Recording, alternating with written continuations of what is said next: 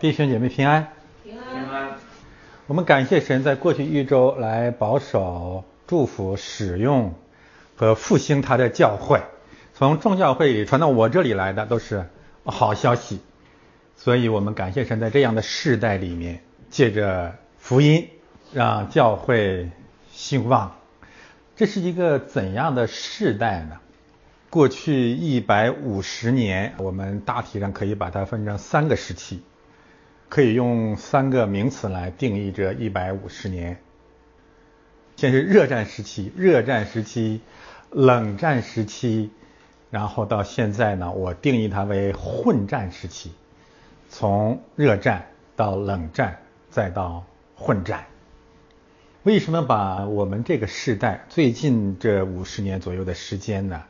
特别是二十一世纪这二十年。特别是二零二零年开始的一系列征战，称之为混战的，主要有这么几个原因，或者说混战呢呈现了至少四个特征，前所未有的四个特征。第一呢就是超限战，特别是随着中国这个角色的介入，扮演了战争当中一个非常重要的一方，随着他的。假崛起和真流氓的本色的暴露，我们看到了前所未有的中国病毒在战争当中所扮演的极端的角色，这是前所未有的，所以我们说这可以称之为一个超限战的一个表现。所以这是第一个特点，你找不到敌人在哪里，看不见的仇敌。所以现在这个时代，我们面临着前所未有的。威胁，而且可能仅仅是开始。第二一个混战的特点呢，就是残酷性或者说是混乱性。和以前的战争有个很大的不同，不再是壁垒分明、敌友分明，而是你中有我，我中有你，一片混乱。用主耶稣的话来讲，就是民攻打民，国攻打国，到处是饥荒和地震。它具有更加残酷的特点，就是壁垒分明，很难决胜于一役。有的时候是你给他一拳，他给你一脚，或者用创世纪的话来定义呢，就是你伤他的头，他一定伤你的脚跟，没有完胜，非常艰苦的一场战争。所以这是一个极其残酷的战争，互相犬牙交错。你中有我，我中有你，这是第二个特点。第三个特点就是它的属灵性，就是这场战争更具有属灵战争的品质。貌似战争的双方背后是圣灵跟邪灵之间的战争，而且比以往的战争更具有这种属灵的特点。比如说像今年开始，你看好像是邪灵的差役，魔鬼的军队。先在台湾消灭了一位军事长官，回过头来，圣灵指挥他的军队就在伊朗消灭了另外一个军事长官。那么这边呢，邪灵的军队刚刚制定了国安法，这边圣灵的军队呢要借着川普向西国宣战。那么那边呢？刚刚这个派遣大量的五毛啊，各个方面的这种差役啊，开始攻击西方。那么这边加拿大又还以颜色审判了孟晚舟。那么这边呢，撒旦的差役呢，差遣一些人，兴起了一些人，就是在这个川普好像刚刚向中国宣战的同一天，前前后后，美国街头就出现了骚乱。就让你这场战争绝对不会很顺利。那么这一边呢，圣灵激动的李克强的灵就起来向习近平宣战。所以这一系列事件让我们看见，这是一个这是一个灵界的战争，它不是仅仅世界里的战争。这种互施拳脚、打头伤脚的战争是前所未有的清晰。第四个特点呢，就是它的末世性啊，具有末世论的性质，具有末世的特点。我们已经有越来越多的证据啊，可以来说明，就是这场战争离主耶稣的复临是越来越近了。一个方面呢，以中国为主角的这支邪恶的势力，几乎已经穷尽了，甚至完全彰显了启示录当中的大红龙和大淫妇所有的特征。另外一个方面呢，神的教会传道人正在遭遇前所未有的攻击、拆毁和控告。但是这个末世呢，也正是教会得荣耀的时候。越是在这样一个黑暗的时代里面，神的教会越向山上之城，越要成为雅歌所宣讲的爱情的见证。我们大致可以这样来说，就是雅歌第五章一个基本的主题就是心腹宣告，向新郎宣告我爱你。那么雅歌第六章是新郎在这样黑暗的时代，在世人的面前对心腹宣告：“我更爱你。”现在我们来看雅歌第六章。雅歌六章十三节经文，核心的主题就是在同样的背景下，在雅歌第五章那些仇敌逼迫的黑暗的背景之下。从头至尾对心腹讲“我爱你”，与心腹在第五章当中的宣告形成了鲜明的平行的关系。这十三节经文呢，我把它分成五个部分。第一部分是在世人面前，心腹呢要宣告基督在哪里。那么与之呼应的十三节是心腹在世人面前。宣告教会是什么？所以这两节经文前后呼应，基本上都是在人、在仇敌、在世人面前，圣经启示何为基督，何为教会。基督不是偶像，在教会当中，活在教会当中。教会不是舞女，教会是心腹。然后呢，呃，往中间走，四到七节和十到十二节。非常清楚的、精致的前后的平行，那里面有一节完全平行的经文，第四节和第十节，就是这是耶和华的军队，这是耶和华的军队，教会是耶和华的军队。那么中间两节经文，第八节和第九节虽然短，但非常有力量。那么很多人可能容易忽视雅歌这两节经文在表达什么，那么你回到第五章，你才能知道他在表达什么。第五章呢，我们已经讲过了，就是心腹在逼迫之下向世人铺陈了他对新郎的赞美，还记得吗？就是连篇累牍的告诉我我的良人是谁，他有多么的全然可爱。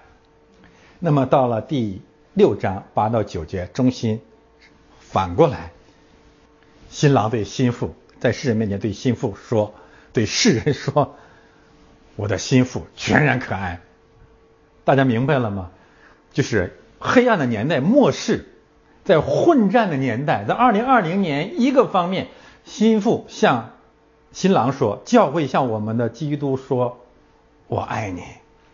这个黑暗，这个瘟疫，这个病毒，这个战争，这个末世，所有的混乱，不会夺去我们教会的爱情。我们坚持聚会，我们坚持讲道，我们比以往更爱我们的主，更加有力量，更加勇敢的去做见证。另外一个方面，我们更深的。在这个时代经历基督对我们的爱，基督说：“我更爱你。”而基督爱我们是什么意思呢？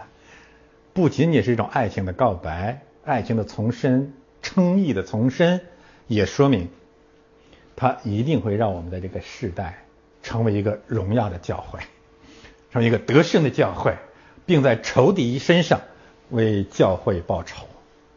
所以这五部分内容呢？可以按照这样的交叉结构，把整个的雅歌第六章浓缩在基督对教会的爱情真理之下。回顾一下过去几周，我们宣讲了很多与当下基督教各种弊端对立的信息。实际上，我们讲了五论，我们稍微回忆一下：论顺服掌权者，论爱你的仇敌，论一切交给神，论灵恩派邪教。上个主日呢，我们实际上讲的是论基督教名目，这五大论题基本上涵盖了基督教的现在基督教的五种普遍的弯曲。这五大弯曲基本上可以证明现在这个教会主流教会是个假教会。轻一点说是异教化的教会，重一点说是邪教化的教会，完全符合圣经历史当中的那个几百年的时间、五百年的时间、四百年的时间，或者两个四百年的时间。第一个四百年的时间，教会在埃及；第二个四百年的时间，教会在巴比伦。教会在埃及做奴隶，教会在巴比伦做淫妇、做舞女。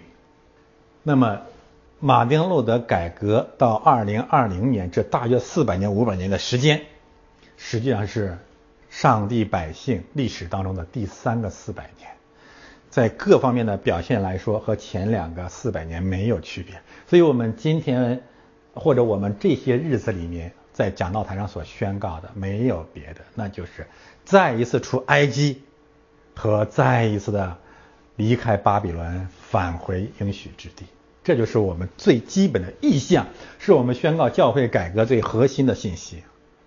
但是呢，这五个方面还不足以涵盖现代鸡汤教基督教所有的特征。还有一个特征，那就是女牧师现象。所以我们欠一笔账。今天是我们的第六论，论女牧师，以及女牧师现象极其严重，相对来说更严重的所有的黑人教会。我涉及这个话题的时候呢，我不怕人告我，但是我不是在讲一个种族主义的话题，韩大韩种族，无论你是什么种族，在基督里种族的咒诅都被废掉了。但是，无论是什么样的种族，在基督里面若不悔改，不可能得救。若不死，不可能生。那么这些女牧师的教会，很多很多黑人的教会，是否经历了圣灵里面的重生呢？不是很清楚。或者说，我们今天要举几个特别华人教会，甚至全世界的教会都熟悉的黑人世界里面的两大名目，我们从他们身上看一看这一个方面的教会。所存在的最大的问题，第一个名目，马丁·路德·金，到今天还是美国人的英雄。第二个名目，南非大主教图图。我们要从他们身上，并结合女牧师现象，今天完成我们对现代基督教第六次的批判、更新和呼喊。有一个有趣的问题是呢？过去的五论和这个雅歌的第六章这五个问题，我也是把它写到这里，我才发现 几乎是完全平行的。什么意思呢？你看啊，我们第一论是论顺服掌权者，然后这里面的一到三节让我们看见基督才是掌权者，那有意思吗？主导文，因为国度权柄都是你的。那没有什么顺服掌权者的问题，对不对呀？权柄都是他的嘛，你还顺服什么权柄？是不是这个意思啊？论爱你的仇敌，泛爱主义，但是圣经说这是耶和华的军队，有意思吧？论一切都交给神，但是神说你们在我面前是义的，你是完全人，你不能全交给我，你要在地上把义、把公义见证出来。你怎么交给神呢？灵恩派邪教，天天修身啊、养性啊、神迹啊、骑骑士啊。耶稣说：“不不不，你是我的军队，你不是天天关起门来修炼神功的异教徒，你要在地上去征战。虽然你征战的武器是圣灵的宝剑，对吗？论基督教名目，这个更贴切。名目是什么？”我告诉大家，名目就是一群戏子，宗教戏子。我这话可能很难听，我自己以前也有戏子的成分，我就是在我的身上更少、更少、更少的这种舞女的特点。但是呢，雅各十六章十三节清清楚楚的否定了戏子、舞女，就是取悦于人、为得便宜谄媚人的这种现象。我们一个方面可以说，现代基督教。整体上沦落为一场表演。所有的宗教，所有的宗派。但另外一个方面，我们借着雅各六章十三节，将要彻底的与这种表演型的教会、舞女型的教会分道扬镳。那不仅如此，还有一个有趣的现象，雅各第六章啊，我们可以把它分成两大部分，一到七节和八到十三节，大体上是七节经文加上七节经文，或者七节经文加上六节经文。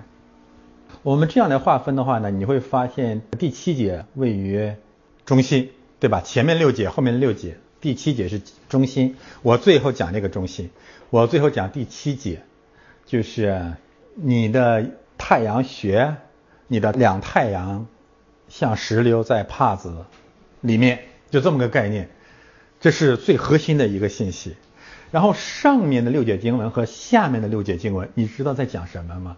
有可能正是在讲除埃及的运动和除巴比伦的运动。我为什么这样说？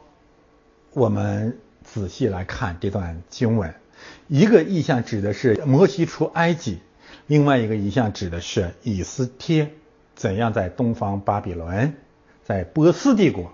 我说巴比伦和波斯把它放在一起啊，波斯帝国拯救了即将被灭绝的犹太人。为他们回归耶路撒冷打响了第一场完胜的战役。好，现在我们来看今天的经文。我先强调一个问题啊，雅歌呢八章前面四章后面四章。今天的经文虽然长，但我会讲的时间可能相对会短一些。为什么会这样呢？因为啊前面这个四章呢出现的大量的核心的概念，在后面四章全部基本上都重复出现了，所以我们释经上的难题基本上没有了。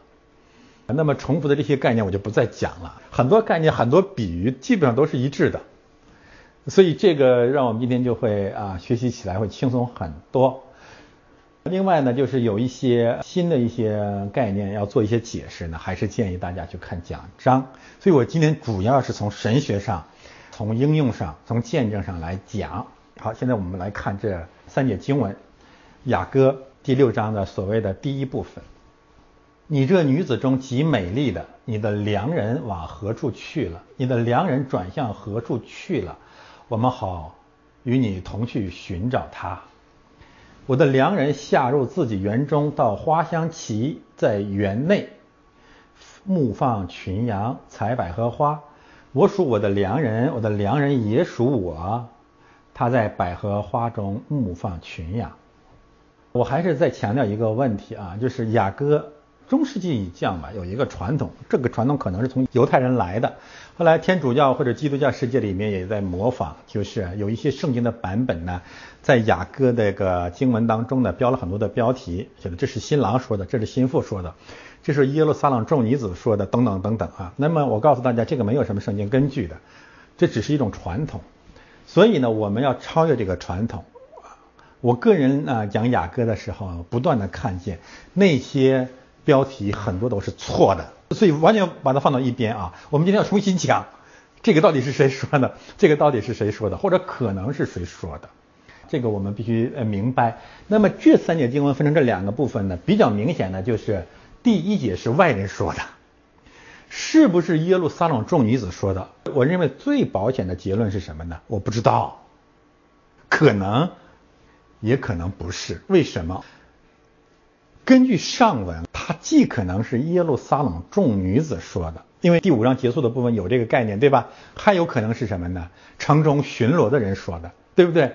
守城的人说的，这很清楚嘛。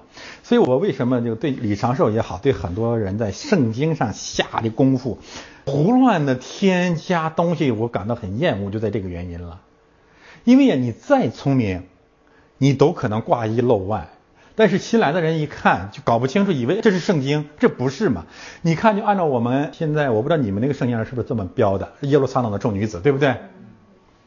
你就是退一万步来讲，你最多是百分之五十是正确的，是不是这个概念？或者你是百分之三十三点三正确的？因为上面还有两个主体你给省略了，那就是城中看守的人、巡逻的人、守城的人，那你给弄哪去了呢？是不是？这太可怕了。所以呢，我们不要在圣经上动手脚。你那个手啊，你要一定要让我来解释什么是乌撒的手，那才是乌撒的手。这些人当被咒诅。我这话有没有圣经根据？有，启示录结束的地方，谁要在圣经上加点什么东西，减点什么东西，他就被咒诅。你说这个人怎么就这么的胆大，就忍不住一定要加东西？所以我们把它全拿掉啊！我们在第一节里面，把这里面说话的人全部 open，全部开放。有可能是刚才那三个主体，他们中的某一位，也有可能是新的主体外邦人。如果是外邦人，就应了新约圣经的很多的信息，那就是当这个女子，当教会，当传道人，当使徒，像犹太人，像耶路撒冷的众女子，像犹太人的精英，传讲基督，讲了那么多第五章结束那一大部分，一定要记得那个，那是前提啊，一定要记住。讲完之后，人家不听嘛，那不听是怎么办呢？就是主说，使徒们也说，你们如果弃绝，我们就转到。外邦人那里去，带着外邦人愿意回过头来问你传的到底是什么意思？大家明白了吗？你比如说像埃提阿伯的太监，是吧？你耶路撒冷有逼迫，但是人家埃提阿伯的太监愿意听，哪怕他是犹太人，不管啊。总而言之呢，呃，我们把第一节的这个说话的主体可以做两个方面的应用，一个呢就是。愿意接受教会女子在第五章已经传讲信息的人，愿意进一步的去追问耶稣是谁，愿意到教会来听一听，或者说你给我解释一下，你讲的是什么意思？这是一个应用，正面的。第二一个是反面的应用，反面的应用是什么呢？继续的挖苦和讽刺。大家还记得我上文讲的吗？就是你是最美丽的，你的良人爱你，你也爱你的良人，他在哪儿呢？教会在黑暗的年代遭遇逼迫了，你把他不找了呀？也也有可能。那么如果我们这么来理解，那么第一节经文和第十三节经文就首尾呼应了，对吗？第一节经文嘲笑你和你良人的关系，那么第十三节经文呢，就是嘲笑什么呢？嘲笑你这个教会，我要戏耍你，你再给我演一演，你再给我表演一下，我来看一看你这个舞女。诸如此类，所以这两个呼喊也类似。这里说你去哪里了？你的良人去哪里了？然后第十三节说你回来，你回来让我看看你，记得吗？所以整个十三节经文首尾有一个呼应的关系。这里我们看看呃约翰福音十二章二十节，我把那个正面的那个应用和它平行。希希腊人来了，犹太人不信，希腊人来了，完了希腊人找到了腓力。就问他说先生，我们愿意见耶稣，是不是很像？但是外邦人对基督有一个最大的误会，对真神有一个最大的误会。这里面涉及到一个核心的宗教问题是什么呢？就是上帝在哪里？这是一个核心的问题啊！所有的宗教都没有解决上帝在哪里的问题。这个问题解决了，你就会从异教当中分别出来，成为真正有信仰的人。现在西方的主流，包括美国，信仰是自然神教，这是什么意思呢？他们认为上帝在受造物当中，就是上帝无所不在，然后在所有塑造之物啊、动物啊、植物啊、风景啊、阳光、空气当中，上帝无所不在。这实际上是一个异教的思想，相当于佛教那个所谓的宇宙的本体这样一个概念。希腊哲学、佛教思想。都一样，自然神论实际上泛神论本质是一样的。那么基督教啊，主流也好不到哪里去。他们有一个基本的听起来很属灵的概念是什么呢？上帝在我心中。我想告诉大家，前面那个说法和基督教这个说法没有全错，麻烦就在这，你知道吗？魔鬼的谎言在这个地方，那他有全错就好反驳了。那是圣灵有时候在我们里面，基督有时候在我们里面没有问题啊。但是呢，基督在受造物当中，在这个大自然打了引号大自然里，和基督在我们心里，以及基督同时在受造之物当中又超越圣造之物，是一个独立的存在，有位格的神，这完全是一个不同的概念。听得明白我的意思吗？这很重要，这涉及到神论当中特别特别重要的问题，就是上帝存在，它既内在于受造之物和我们，又同时外在于我们。约翰福音有一个词讲的特别好，就是那在地又在天的神，这还不得了？好吧，这个问题很抽象，以后再展开讲啊。我只是强调这个观点，就是神在哪里这个问题，没有人能解决，基督教也异教化了。第二个问题呢，就是这里面这个富人的回答，心腹的回答，其实告诉我们上帝到底在哪里？上帝在哪里？基督教或者圣经有两个最伟大的回答，是唯一符合真理的回答。第一，上帝在基督里，良人啊，他来了。上帝在基督里，没有人见过神，只有父怀里的独生子把他启示出来。他来了，他是教会的新郎，他是一个完全的人。所以，约翰福音有两句平行的经文：第一，第一章，没有人见过神，只有基督把他启示出来。后面有一句话怎么讲呢？你们看见了我，就看见了父。所以第一点，这个富人的回答，第一个真理就是，上帝在良人身上向我们显现。第二一个真理就是第二节到第三节。我这样讲是根据以前的讲道啊，你们能听懂，可能新来的人不一定听得懂。第二一个，上帝在哪里呢？或者说基督在哪里？基督在教会中，这非常重要。这个问题是现在基督教基本上没有解决的问题，天主教没有解决这个问题。但是我认为啊，基督在教会里。天主教解决的总的来说比基督教解决的好，虽然他解决的解决过头了，但是马丁路德宗教改革到今天，这个问题实际上被破碎了。路德坚持了很多伟大的真理啊，圣理性教会，基督真实的临在教会，借着饼和酒真实的临在，这都是呃路德神学特别伟大的领受，特别伟大的见证。但是受异教和这个其他基督教激进改革的影响，我们这个方面没有得到进一步的发展。以至于现在基督教其实跟异教徒没有什么区别，都是相信上帝无所不在。应该是路德的一句名言，我们今天呃引用在这里，我希望我们不断的去引用它，那就是如果上帝无所不在，那么上帝就一无所在。这话是什么意思？就他哪儿都是，他哪都是上帝，那结果就是上帝哪儿都不是。这话太伟大，太伟大了。所以呢，第二到第三节让我们看见。基督与教会同在，这个同在呢也符合圣经关于夫妻关系啊，关于新郎和新妇关系的比喻。这个比喻的一个基本真理是什么？夫妻一体，二人合为一体，不可分开。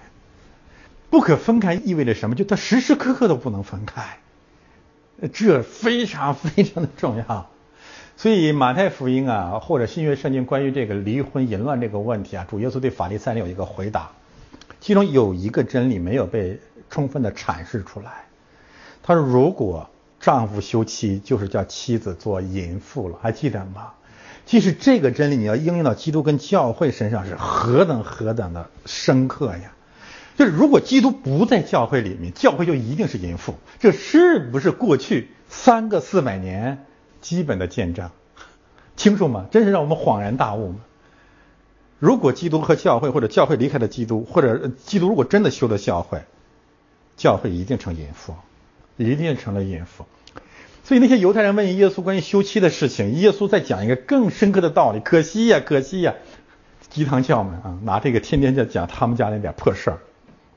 但是我觉得主耶稣首先要强调的，就像保罗后来揭秘的。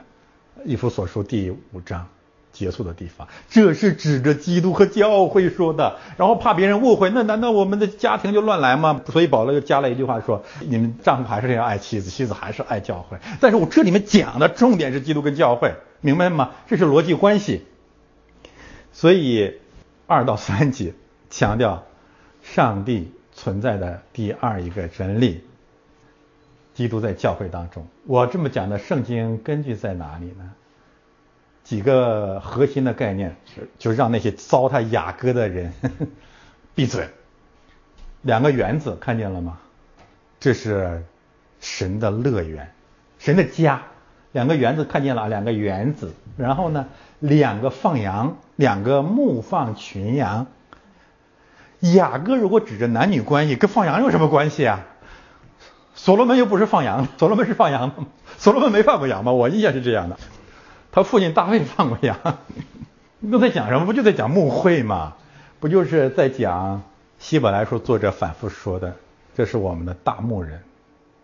然后使徒讲，基督是我们的牧长，是我们的牧者。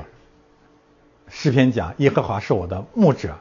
所以你这个脸皮得多厚，你一定要把这个香花旗 或者平行概念的香草山应用到你们家去呢，这是不可以接受的滥用。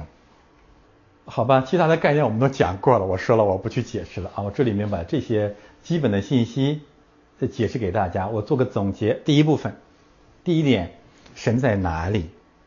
神在基督里，基督在教会里。与此相关的，你不要去找基督，基督会来找你。但是出信的人你不懂，慢慢会懂。第二个真理就是，基督和教会这个关系是一个牧者和群羊的关系。雅歌重点讲的是基督和教会，不是讲奸夫淫妇。虽然我们可以在圣经当中找到片段性的所谓婚姻家庭持续的信息，但是主说。给我做见证的，给我做见证的，就是这六十六卷书啊！所以我们感谢神。我们看第二部分，我的佳偶啊，你美丽如德萨，秀美如耶路撒冷，威武如展开旌旗的军队。求你调转眼目不看我，因你的眼目使我惊乱。你的头发如同山羊群卧在激烈山旁。你的牙齿如一群母羊，洗净上来，个个都有双生，没有一只丧掉的。你的两太阳在帕子内，如同一块石榴。第五节的第二部分，你的头发那里开始到第七节结束，我们就讲过了，基本的概念我们全部都讲过了，对吧？还记得啊？四章一到三节。所以这里面我们不去做释经上的呃这个重复，但是呢。我还是想强调一下两个问题。第一呢，圣经当中的重复不是无谓的重复，它是有原因的，主要是两个原因。第一个原因就是说话的对象可能变了，你看他又讲了一遍，原因是什么？是因为他现在讲的对象和第一次讲的对象不一样了啊！我给你举个例子吧。我们读摩西五经的时候啊，你会发现，比如说十诫或者以摩西律法为中心的这些教导，好像重复了两次，有印象吗？你看出埃及记第二十章讲十诫，申命记又讲一次，为什么？因为出埃及记第二十章讲的十诫讲的是第一代以色列人，申命记是那代以色列人基本上死光了，然后又遇到新一代以色列人又出来，对吗？那么这里面所强调的这个听到的对象呢也变了。上文讲的这些基本上讲的是谁呢？讲给心腹听的。这里面呢是当着外邦人，当着那些。想要了解基督的人，或者呢嘲笑逼迫教会的人所宣讲的，所以讲话的对象变了，这是其中一个原因。第二一个原因呢，重复是为了什么呢？是为了诗歌本身文学上的考虑。重复本身是有力量的，即使是同一波人，你可能会遗忘。这个道理我们讲过，我们的神是一个唠唠叨叨的神。一个方面显示了罪人真的是不可救药啊！刚犯过的错误，回过头来又犯一遍，那上帝怎么办呢？你你嫌他唠叨，他怎么办呢？他就再讲一遍，这是这样的一个原因。好的，现在我们来看第二部分四到七节，这段经文也可以分成三块啊。第四节，第四节讲的是军队教会军队的意象，第五节讲的是什么呢？是教会存在或者教会崇拜的意象。我为什么这么讲？等一下我再解释啊。第六节和第七节讲教会的一些基本的使命，就教会干什么。我们换个角度来讲啊，就是雅各的第二个部分，实际上在对教会下一个基本的定义。这些基本的定义可以让我们来判断什么是真正的教会。或者我们进一步来讲，根据这些标准，我们可以分辨真假教会、真假基督徒、真假牧师、真假师傅、真假弟兄。这里面我们可以说呢，对教会有三大定义。第一段是教会的第一个定义，教会是耶和华的军队，是基督的精兵。那么现在反省我们自己，反省现在基督教还是不是？现在我们要跟普世的人都和好，我们要爱所有的人，那你这个军队不就解散了吗？第五节讲的是教会的第二个定义，这个教会的定义呢？我把它定义为呃基督徒吧，基督徒是神的儿女，是神的儿女，是神的爱所爱的人啊。我回头解释这个有点难啊。第三个定义，第六到第七节讲的是教会的使命，这个使命是干什么的呢？就是教会是干什么的呢？教会有两大使命，一个使命是传道，一个使命是建会。这个我们讲过啊，传道和支堂，口齿唇舌。这种比喻呢，指的是教会是福音的出口，真理的宣讲和见证者。这个我不再展开了，上次讲过了。牙齿第六节讲教会福音的使命，不传道的教会不是教会。我还是那句话，什么神迹啊，什么修行啊，生命啊，你这一套可以有。我还是那句话，魔鬼狡猾就在这个地方，有啊有啊，我没说没有，但是它不是主要的讲道。说话、见证、传道啊，这是教会第一个传福音的使命。第二，第七节，第七节经文我把它理解为解释为建会、职堂、建立教会、建立圣殿、建立神的家。原因我已经讲过了，但是这节经文回过头来，我最后还会再一次的展开来讲。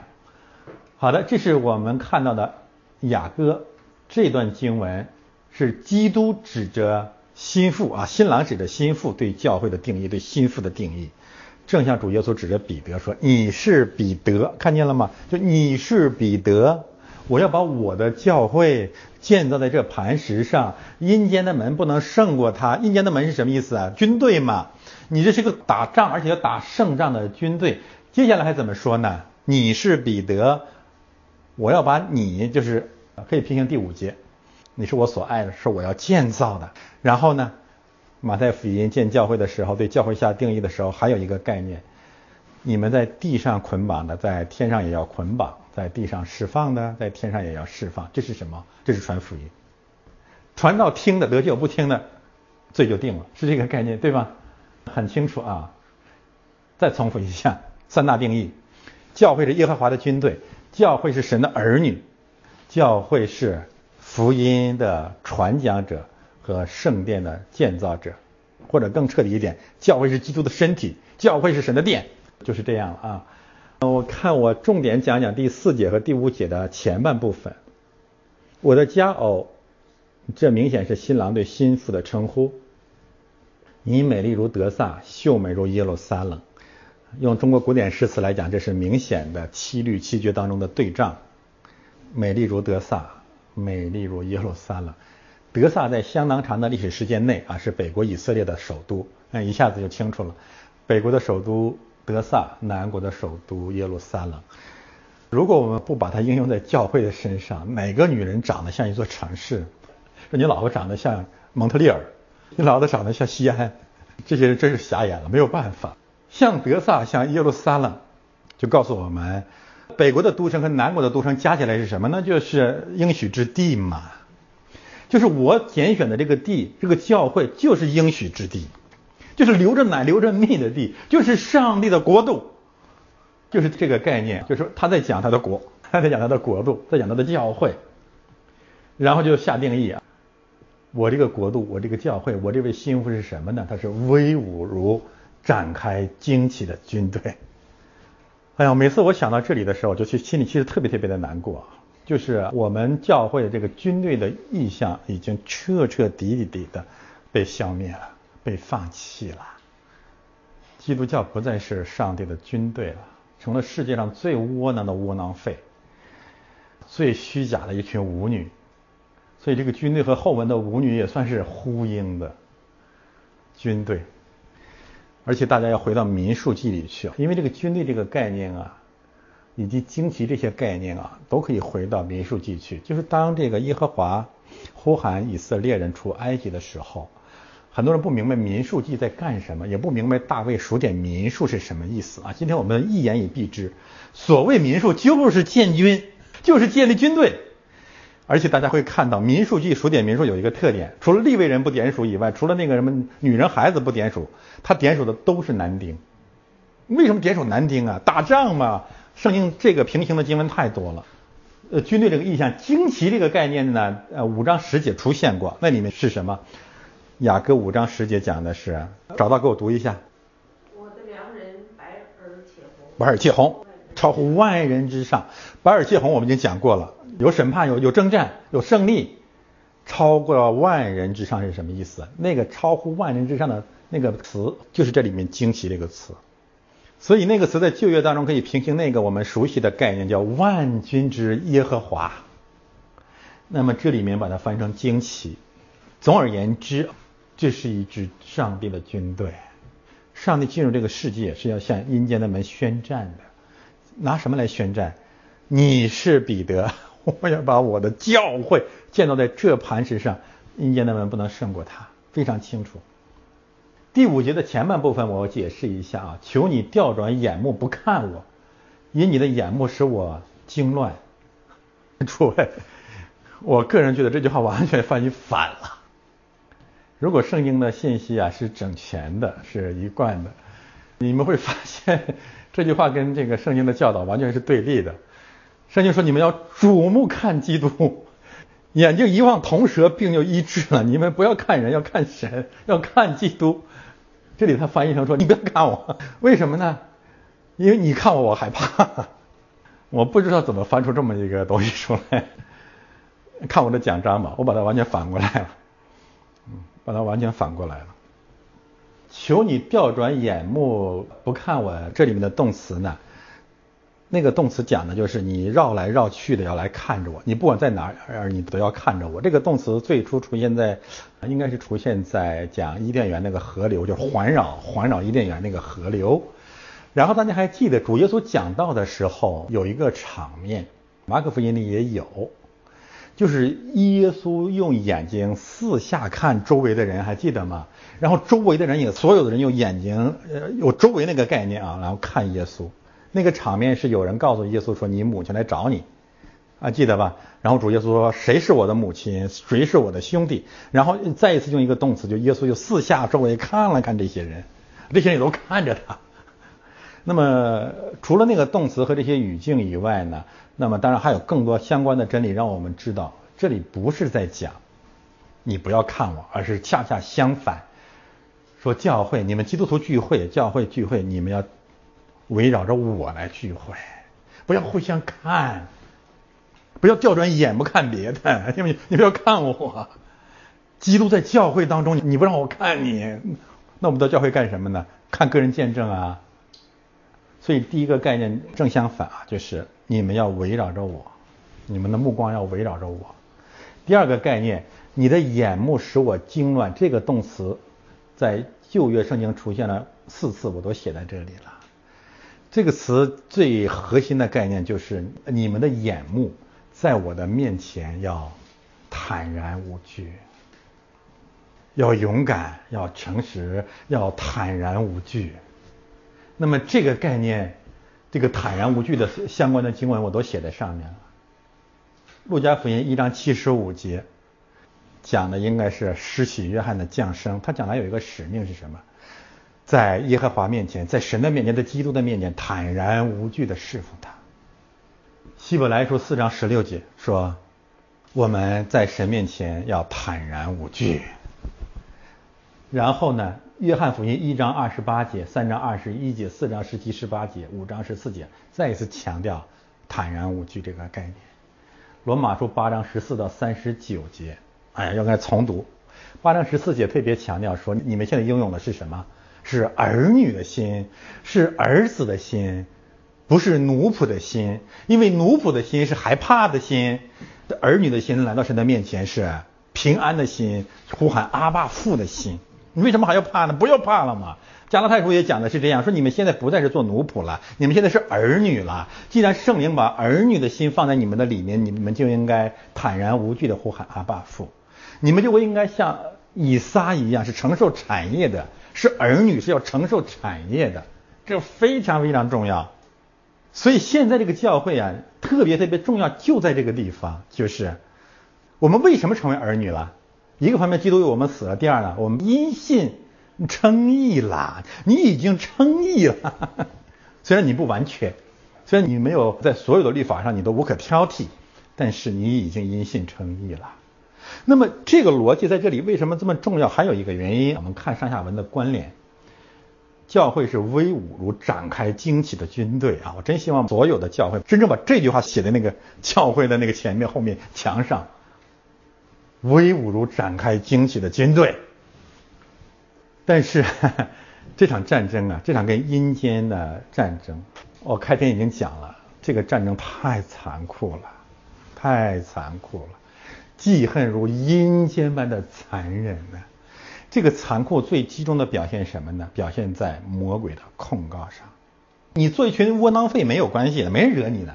世界说你好，不搭理你们。基督教像个舞女一样在那待着吧，对吧？啊，自己玩吧，自己嗨吧，谁搭理你？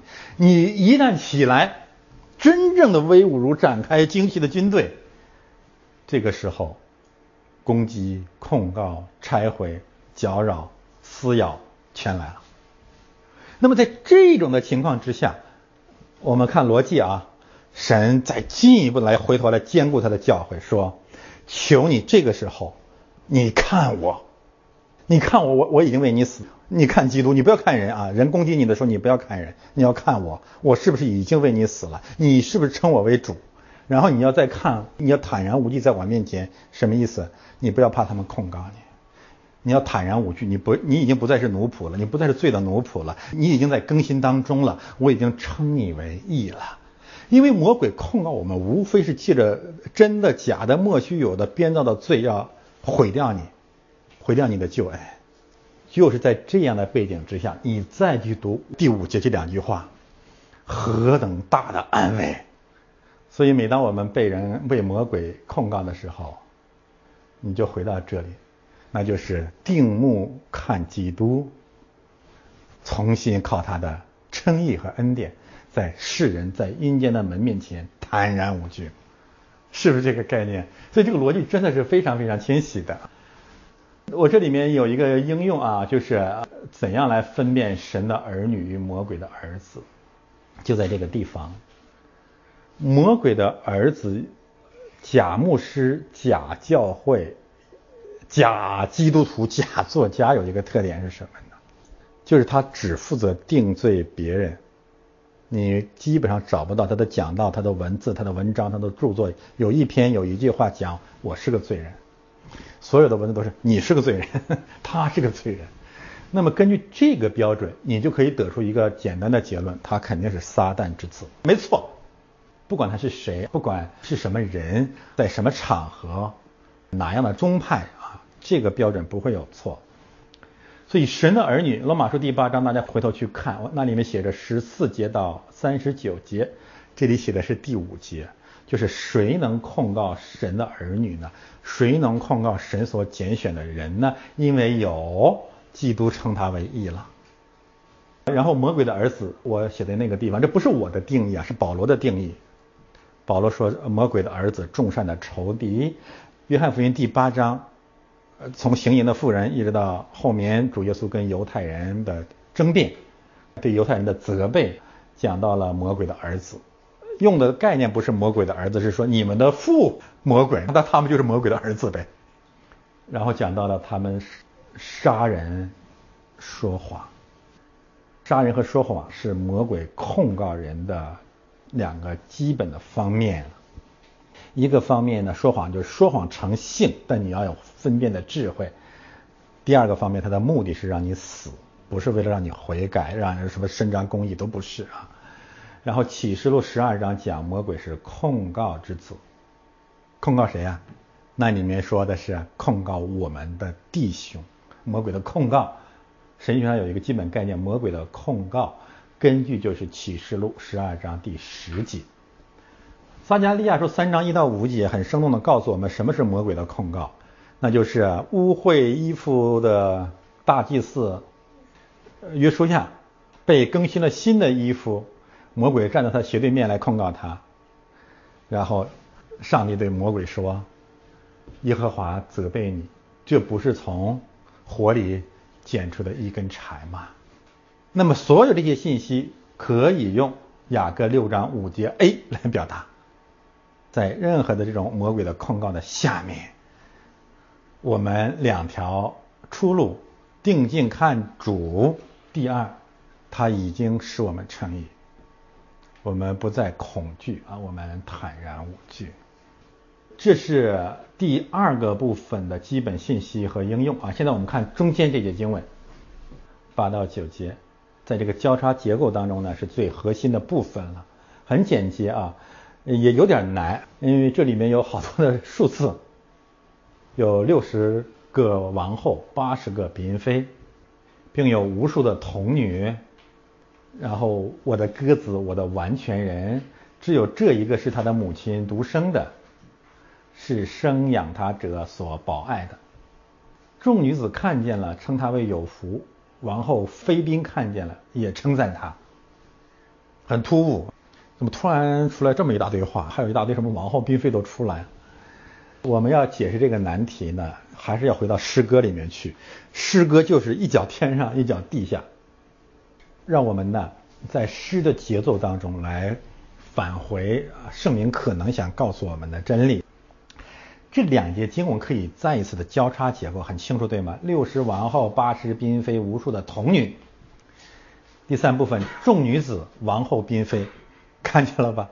诗歌啊，圣经很多的时候是一首诗，这是对的，是一首完美的、精致的、精美的古典诗歌。交叉结构是它常用的格律。所以你看，嫔妃和嫔妃，王后和王后前后呼应，然后童女和女子前后呼应。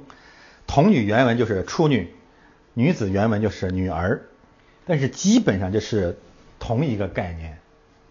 中间第九节是新郎对新妇的第二次的，或者说最集中的爱情的表达。刚才我讲的就是，在这样的世代里面，他向所有的仇敌和逼迫者说。别管那些畜类，你是我的，你是我的，明白了吗？你是我的，你已经是我的了，而且你是我的鸽子，你是我的完全人，是独生的，是所爱的。这个逻辑上也是蛮清楚的。我先讲第八节，这句话的来头在哪里？刚才我提到了一个概念。那就是雅各六章一到六节一个基本的意象，讲的是以色列人出埃及。这个理由其实我以前讲过了，我这里不再重复了。大家如果不明白的话，回头听一听我讲这些概念的时候，这些概念怎样和以色列人出埃及相平衡。那么我为什么讲八到十三节有相关的概念和巴比伦、波斯这些历史时期有关联呢？首先我来说明，这不是我的发明。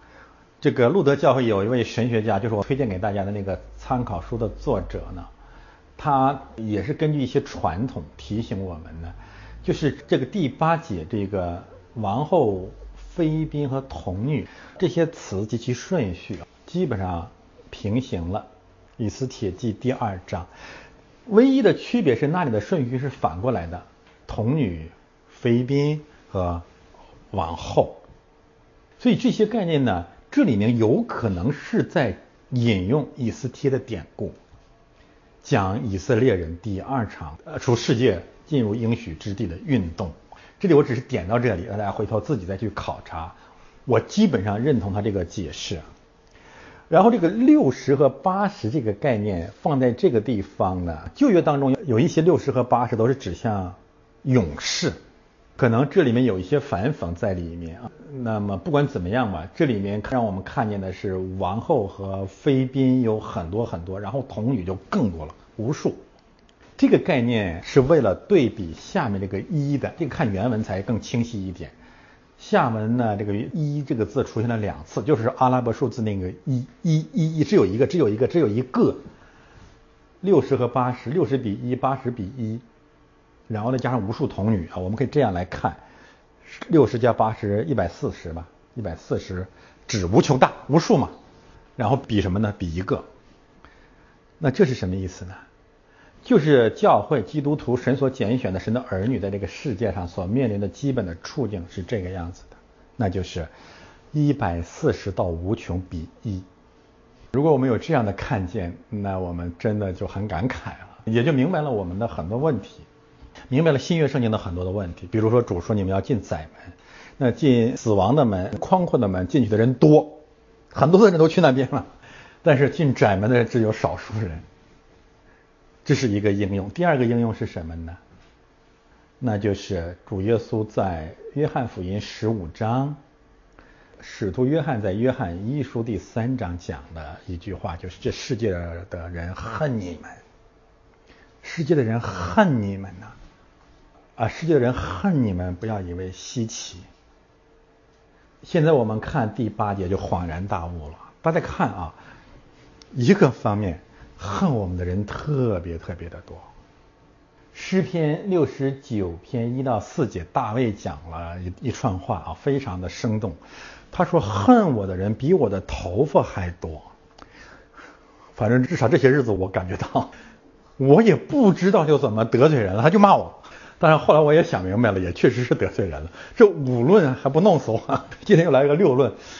六论之后，我的敌人会翻一倍，因为这个女牧师占全世界教会的百分之五十一以上。所以大卫说呀。”恨我的人比我的头发还多，我没有犯的罪，没有做的错事，他们一定要跟我讨要啊，诸如此类。所以这个数字的第二个概念就是让我们看见的是，首先让我们看到的就是，我们进入这个世界，就像主在马太福音七章十三节、十章十六节所提出的这个相关的教导，我差你们去啊，如羊进入狼群。如羊进入狼群，所以我一直说，国内的弟兄姐妹，国内的传道人，至少目前不要效法我的讲道。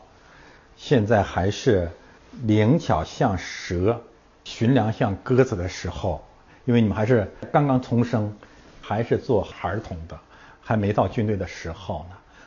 神要兴起和使用我们起来做他的军队，一定有他的时间。亚伯拉罕七十五岁。摩西八十岁，别急别急。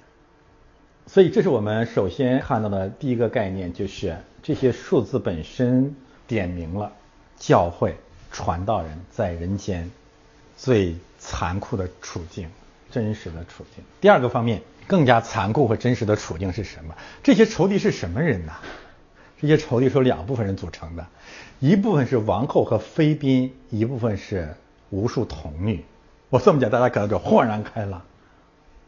为什么要恨以斯帖？为什么要消灭所有的犹太人？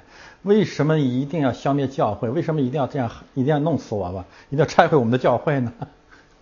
或者用雅各后面那句话来讲，就是为什么记恨如阴间般残忍呢？原因就是他以为你要夺他王后的位置，他以为你要夺他妃嫔的位置。而且无数的童女，所有童女的理想都是成为王后和妃嫔，大家明白了吗？所以这种仇恨真的是如阴间般的残忍。它不仅仅包含女人的嫉妒啊，女人的仇恨，他在比喻这个时代那些把名利权欲作为他们真正的信仰、真正的上帝的人，一定会用最残忍的方式。来逼迫他们认为威胁他们的人，所以这是教会在人间遭遇逼迫一个最重要的原因，也是中国人反美的一个重要原因，也是真正的传道人。当你传道越来越有影响、越来越有能力的时候，你会遭遇很多带着王后、妃嫔、童女、贵官的这些人结成联军，彻底消灭你。这是基本的处境。但是就在这个时候，我们感谢神，上帝出现了，神出现了。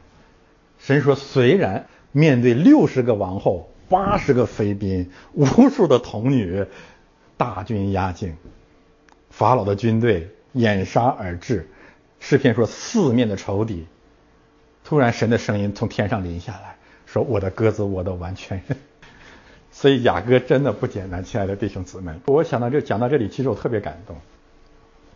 就是你觉得你已经快被消灭了，没有人救得了你，大家都要弄死你了，就是这个概念。你想想这个画面吧，你就想想当时在这个波斯王宫的时候，所有的犹太人已经就就是人为刀俎，你为鱼肉了，马上就要灭亡了，就断子绝孙、绝种了。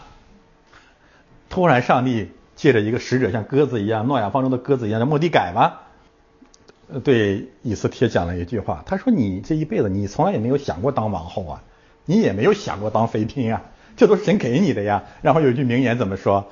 焉知你得了王后的位分，不是为了今日吗？我觉得这个特别的生动啊。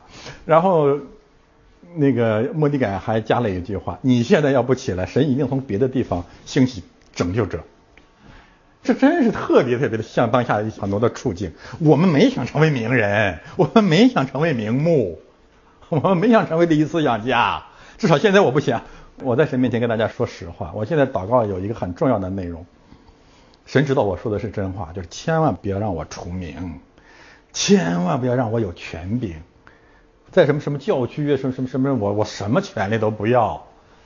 你们可以给我做一个见证，咱们这教会的建制一个基本的特点是什么？没有权利。我们教会三件大事啊：讲道、听道、相爱。没权利，没指示牌，什么都没有。我管过谁啊？我谁我都不管，这不是没有爱心，那上帝会管你的，大家明白吗？所以，我们如果的我们的事工突然有了点儿进展，那就是神的工作，不是我们啊，我们不想这样。我现在恨不得让 YouTube 上的那个访问量回到几百人当中去，我休息休息。现在压力好大，为什么我们在这样的时代，在这样的时候还是要坚持讲道呢？不敢不讲啊。在推特，在那个什么地方不断的留言，静候天凉，静候天凉。像这个这个静候天凉那个词，我我发现比以前翻了好几倍。好吧，你们静候天凉，那我就上十字架呗。接着讲，说没有办法。所以啊，我们回头来看这样的话语，让我们真是感动。就是我们觉得我们要完了，这时候有声音从天上临到我们。圣经当中呢，经常有这样一个意象啊。我这次解释雅歌，我才有更多的看见。为什么会突然间从天上有声音说呢？当然，一个方面强调的是这是从神来的，另外一个方面讲的是什么？人间没有帮助的力量。所以我每次看到我说香港啊，香港，我一提起香港就要流眼泪。人间没有帮助的力量，所有的帮助都是有限的。我们支持川普对中国宣战。但这场战争牺牲品仍然是香港，至少在短期时间是。当然，我们不能把责任怪到美国身上去。但无论如何，香港未来的命运越来越惨淡。他有可能真的至少会死掉。当然，我相信他会重生，但是害死他的人不会再重生了，会受到永永罚。但是香港无论是今生还是永世的帮助，香港人啊永世的帮助。一定是从天上来的。有一天神的日子满了，他会从天上说：“我的鸽子，我的完全人。”啊，真是很美很美的画面。我感慨一下，为什么有人讲雅各讲到这些经文的时候那么的没有感动？你要注意，他这话是什么时候说的？你已经很鸽子很完全的时候。嗯，这话没有什么关系的啊，就是当你被逼迫要被你被消灭的时候，突然有一个声音，而且是神的声音从天上降下来的时候说：“我的鸽子，我的完全人，亲爱的弟兄姊妹，那才叫叫做什么呀？那就是真的天开了。我们每个人的生活的处境里面，我们经历的神最伟大的神迹就是这。给我讲神迹吗？这个是真正的神迹。二零零四年就是我经历的神迹，二零二零年仍然是。就是好像我们觉得完了，突然天上有声音说：“我的鸽子，我的完全人，啊，美极了，没有更美的。我的鸽子，我们讲神的使者，诺亚方舟的使者，我们还可以讲新约圣经的应用呢，就是你你们在这样的时代里面要做灵巧像鸽子。当我们很像鸽子的时候，一个方面是军队，对吧？一个方面是军队，在另外一方面是鸽子。这个鸽子是什么呢？就是我们这个战争是属灵的战争，是圣灵的宝剑。那另外一个方面呢，我们顺服，特别是顺服神的教导。当我们顺服神的教导做鸽子的时候，我甚至认为这个时候就是你能够听见上帝的声音裂天而来的时候。你破马张飞的时候听不见神的声音，都是人的声音。所以我的鸽子，我的完全人，完全人是什么意思呢？我们已经讲过了，完全人总是啊，这个看上一次的讲章，就业当中的完全人百分之八十到九十都和正直人平行。一个方面我们是神的鸽子，另外一个方面我们在这个世界上仍然要做公义的见证者，要做个艺人。我提一个话题啊，我知道上个主日啊，我们这五论包括今天的六论越来越有冲击性，甚至可能导致我们内部的某些分歧。我能理解，因为上个主日我们论基督教的名目涉及到了大卫鲍森，我知道有一些弟兄姊妹真的喜欢他，其实我也喜欢。但是他们不明白我为什么要讲他，这是这是个脑袋的问题，我不再解释了。我认为我都讲讲的清楚，不能再清楚了。竟然还有疑问，那怎么办呢？很无奈。但是呢，我今天补充一个信息啊，就是大卫鲍森呃，除了他神学上的某些错误以外呢，你不能说大卫鲍森是个完全人。大卫鲍森是个很好的教师，但是你很难说大卫鲍森是一个艺人。你能说大卫鲍森是个艺人吗？那么检索他九十年的生命历程，他为哪个孤儿和寡妇伸冤辩屈过呢？在整个英国过去一个世纪的黑暗的历史当中，败坏的历史当中，抛弃了香港的历史当中，现在又是面对香港软弱的历史当中，包括大卫鲍森本人在内，英国的传道者，英国的教会在哪里？我不再讲了，这个问题我不再发挥了。不仅如此，我今天想补充一个完全人的信息啊，大家有圣经再一次翻到我们上个主日讲到的提摩太后书三章十五到十七节，所有的神学院都用这一节经文来作为圣经本身对圣经的定义。提摩太后书三章十五到十七节，大家可能熟悉，但我为什么让你们去翻过去呢？原因是那里面。再一次告诉我们，到底什么是圣经讲的完全人？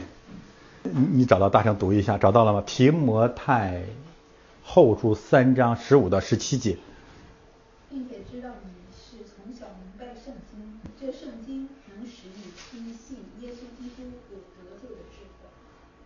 圣经都是上帝所默示，以教训、督责、使人归正、教导人学义，上帝的人得以完全预备行各样的善事。上个主日我们眼睛已经开了，看见的是教导人学艺。今天我们眼睛再一次开了，看见的是什么？看见了什么叫完全人？第十七节再读一遍。叫属上帝的人得以完全预备行各样的善事。圣经啊，圣经，圣经何等的美好，何等的完全，何等的清楚。什么叫完全人？预备行。各样的善事嘛，教导人学艺，什么叫学艺？然后就回过头来给你解释了，解释了什么是完全，解释了什么是行义，真好。所以我们的完全人今天彻底解决了，对不对呀？那不仅如此啊，我们再看一看，在这样的处境之下，上帝在世人面前宣告，这个在敌人围困当中的，在阴间门残忍当中的，在阴间的门门口的这位心腹。他的仆人，他的百姓，上帝总是准时的临到来保护他们，宣告他是我所爱的。我们看第二句话，所以我们看第二句话，只有这一个是他母亲独生的，是生养他所保爱的。这个母亲的这个问题呢，我们已经讲过，我还是建议大家更多的去看加拉太书。啊，保罗说撒拉是我们的母，啊，是我们在上的母。非常清楚，非常清楚，就加拉太书讲得很清楚。那么保罗讲基督徒教会萨拉是我们在上的母，他想说什么？加拉太书那里面想说什么？想说的是我们不是奴仆，乃是儿女，对吧？还记得吧？不是奴仆，乃是儿女。而且这儿女有两个特点，第一个特点是要承受产业的，第二个特点是凭应许生的，好吧？那么这个真理跟这个语境有的关联也很清楚了。你控告我没有用，我不是根据律法生的，我是根据应许生的。我们得救不是靠着肉体，我们得救靠的是圣灵。你们靠圣灵得生，是这么说的吧？还是遵行律法得生呢？很清楚的啊。所以这里面就是上帝再一次的为我们辩护，就这么简单了。当然，这里面还有别的解释的方法。这样讲信息太多了，大家看我的奖章吧。呃，意思就是说，这里面有些信息好像也是包括下面的称它为有福啊这些概念啊。和圣诞的故事有好多平行的，我不解释了，免得大家乱。看我的奖章，有兴趣的话啊，就是这些经文也指着耶稣基督圣诞的故事。但是这些故事和教会有关联在什么地方呢？还是那个道理，就是虽然预表教会，也可以指向基督；虽然预表基督，也可以指向教会，因为新郎和新妇夫妻是一体的，没有矛盾啊，没有矛盾啊。呃，我最后想强调的一个问题是什么呢？就是。我们这样讲，我的鸽子，我的完全人，然后他是我所爱的，等等这些概念啊，就是上帝在黑暗，在我们遇到绝境，在我们被魔鬼控告的日子里面，突然向我们显现，来保护我们，来胜过四面的仇敌呢。有圣经当中太多太多的平行的故事了。最明显的，大家记得吗？就是民数记十二章，民数记十二章一到十二节，上帝为谁辩护？为摩西。那个时候就以色列人的领袖，后来还有二百五事件，我以前讲过了。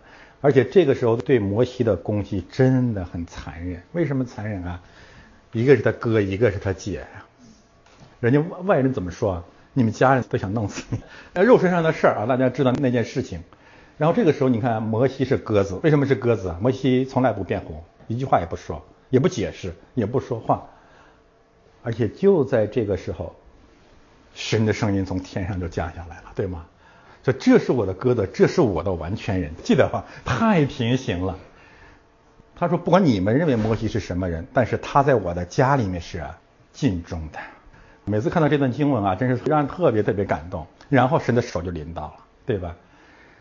但是神还是蛮，我觉得蛮节制的，没有打击亚伦，给了亚伦面子，给脸了，打击了米利安。我想原因很有可能是米利安觉得她是王后，她是妃嫔嘛，大家明白吗？然后可能跳的最疯狂，马上就长了大麻风。大麻风什么意思？那借着这件事情，你你不就是想丑化摩西吗？你不就想黑他吗？但是结果你变得更难看。也许世人以前还不知道你是个大麻风病患者，现在知道了。这个经历呢，在撒加利亚第三章也表现了，我刚才提过了，不再说。然后到约翰福音第八章，主耶稣。打击那些文士法利赛人，用的是相同的道理。提摩太后书第三章，我讲的就是刚才大家读的经文。所以这里面很清楚的看到的，圣经首尾一贯的，上帝借着基督对教会的爱情保护。所以我说啊，当香港受辱的时候，当教会受辱的时候，我们突然看到了五二八。李克强向习近平宣战，五二九川普向习国宣战啊！新闻背景我不讲了，我们这是讲道台，大家知道我在说什么就好。那这是什么意思呢？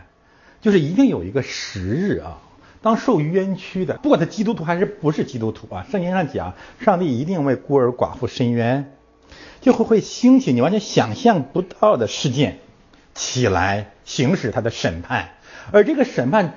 背后真正的原因是什么呢？就是上帝爱那些行义的人，他一定会出现。爱的上帝一定为心腹报仇。那么这场审判、这场变化、这场混战，在这样的二零二零年这样的日子里面，这种宣告目的是什么呀？为什么上帝现在没有把这些人全部消灭呀？为什么现在就把中国全部终结了？把所有上来来攻击我们的人全部都得了大麻风，或者让他们彻底的消失呢？为什么？有一个重要的原因，就是最后一句话：众女子见了，称他有福；王后嫔妃见了，也赞美他。这是什么意思？就经过中间我们讲的林林总总、林林总总的传道和见证和审判，还是有人悔改？好吧，你们是真正的传道人，你们是真正的教会。你们真有福，明白吗？我们要赞美你们，因为在这样的时候，你仍然坚持，你仍然站住了。我们用还是用香港来做比喻，经过了这个过去的一年两年的这个时间，大家发没发现，在改变，改变了很多人。确实有女子开始称他，这才是一种福分，这才是值得赞美的。虽然他表面上好像失败了，政治上好像失败了，但是他们在天上赢得了胜利。这真的是很重要。这两天我为什么这么开心呢？就是过去一周我为什么说是得胜的一周？收到了大量的信息，都是我们得胜的消息。众教会传来的消息都是好消息。一个方面，更多的人洗礼；另外一个方面呢，有人跟我说说过去的这五论，他说好多的周边的人都在觉醒，包括他说教会正在醒来。某处一个教会，他本身是也在开放地区。说他们现在教会新进来的人比以往的任何时候更多，就是因为这五乱。他说这是基督教，这个是真基督教。特别是上一次的对灵恩派的批判，我原来以为我要遭遇什么呢？我觉得神的恩典还是够用的。什么原因呢？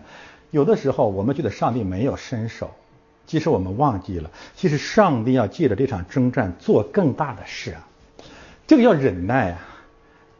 我还是那句话，上帝要借着香港，也要借着我们教会，真的是要做很多很多的事。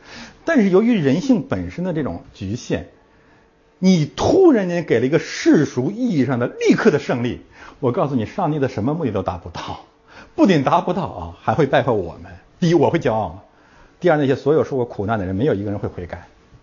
所以我盼望，越是在黑暗的时期，我们越要平安喜乐。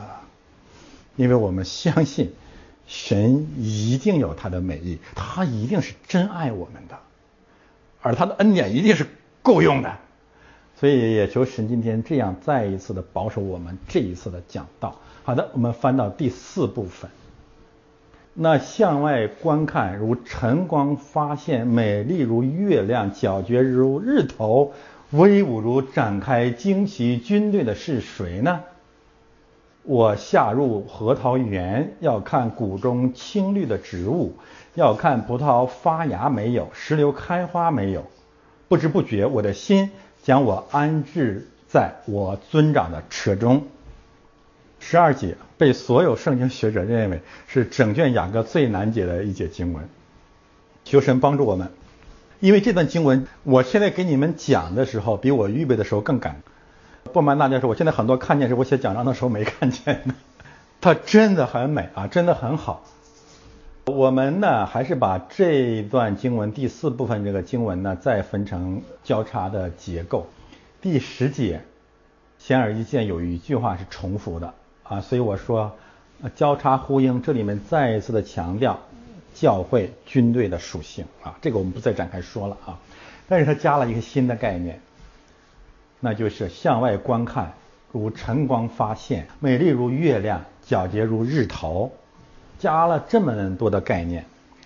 同样根据上文的逻辑呢，我们再一次的把这看成是对教会的第四重定义，第四重定义。然后第十一节第五重定义，第十二节第六重定义。换言之啊，雅歌。第六章在交叉结构当中，对教会至少有六重定义，肯定性的定义。然后首尾有一个否定性的定义，否定性的定义就是教会不是舞女。教会的底线是教会不是舞女。然后六重定义前面讲了三个定义，这里面又讲了三个定义。第一个定义第十节，然后十一、十二。我们先看第十节，那向外观看，如晨光发现啊。美丽如月亮，皎洁如日头，威武如展开旌旗军队的是谁呢？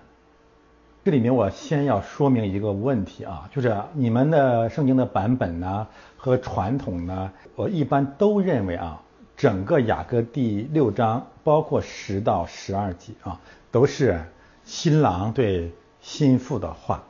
我们今天把它反过来。这也不是我的独创，还是路德教会那位学者，他认为呢，这里面的这个话语是新妇对新郎说的话，是反过来啊，是新妇对新郎说的话。我个人呢有两个解释供大家选择。第一，我同意他的观点，就这三句话是心腹对新郎说的话。第二呢，就是第十节继续是新郎对心腹说的话，但是呢，十一到十二节是心腹对新郎说的话，两个都可以。但是结论，传统的那种解释，你们圣经版本的那个解释，我确实认为是不对的，应该是不对的。好的，现在我们再回过头来讲这三节经文。那向外观看，如晨光发现，美丽如月亮，皎洁如日头，威武如展开旌旗军队的是谁呢？我们回到第四节，我们看看有什么差别。第四节，他说：“我的佳偶，你美丽如德萨，秀美如耶路撒冷，威武如展开旌旗的军队。”第一个差别是佳偶没有了，对吧？不是佳偶了。第二个差别是啊。这里面是美丽如两座城市，好翻回来。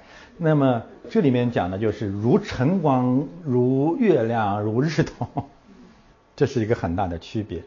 我们先看呢，就是如果啊，这个是新郎对新妇的话，那就等于基督对教会的定义，进一步的定义。那么这个定义呃是什么呢？就是四个方面，向外观看的教会。三个定义啊，第一就是向外观看的教会，第二个就是三光的教会，晨光、月亮、日头。第三个定义是什么呢？就是军队。军队这个定义我们不解释了。然后我们再看前面这几句话，是向外观看的教会，是除黑暗进入光明的教会，是美丽皎洁如日月的教会。我们再往前说，你就越来越开朗了。这都跟新约圣经是一样的，向外观看。这意味着什么？意味着教会是世上的山上之城。前面是德萨与耶路撒冷，啊，那么这个观看这个词呢，原文指的是从高处向下看。在整个圣经当中，最早出现的是两处，都和谁有关呢？都和索多玛灭亡有关。第一次向外观看的是天使或者基督，就是从高处看平原的索多玛、俄摩拉。第二次是谁看呢？亚伯拉罕在山上往下看，看索多玛、俄摩拉的灭亡。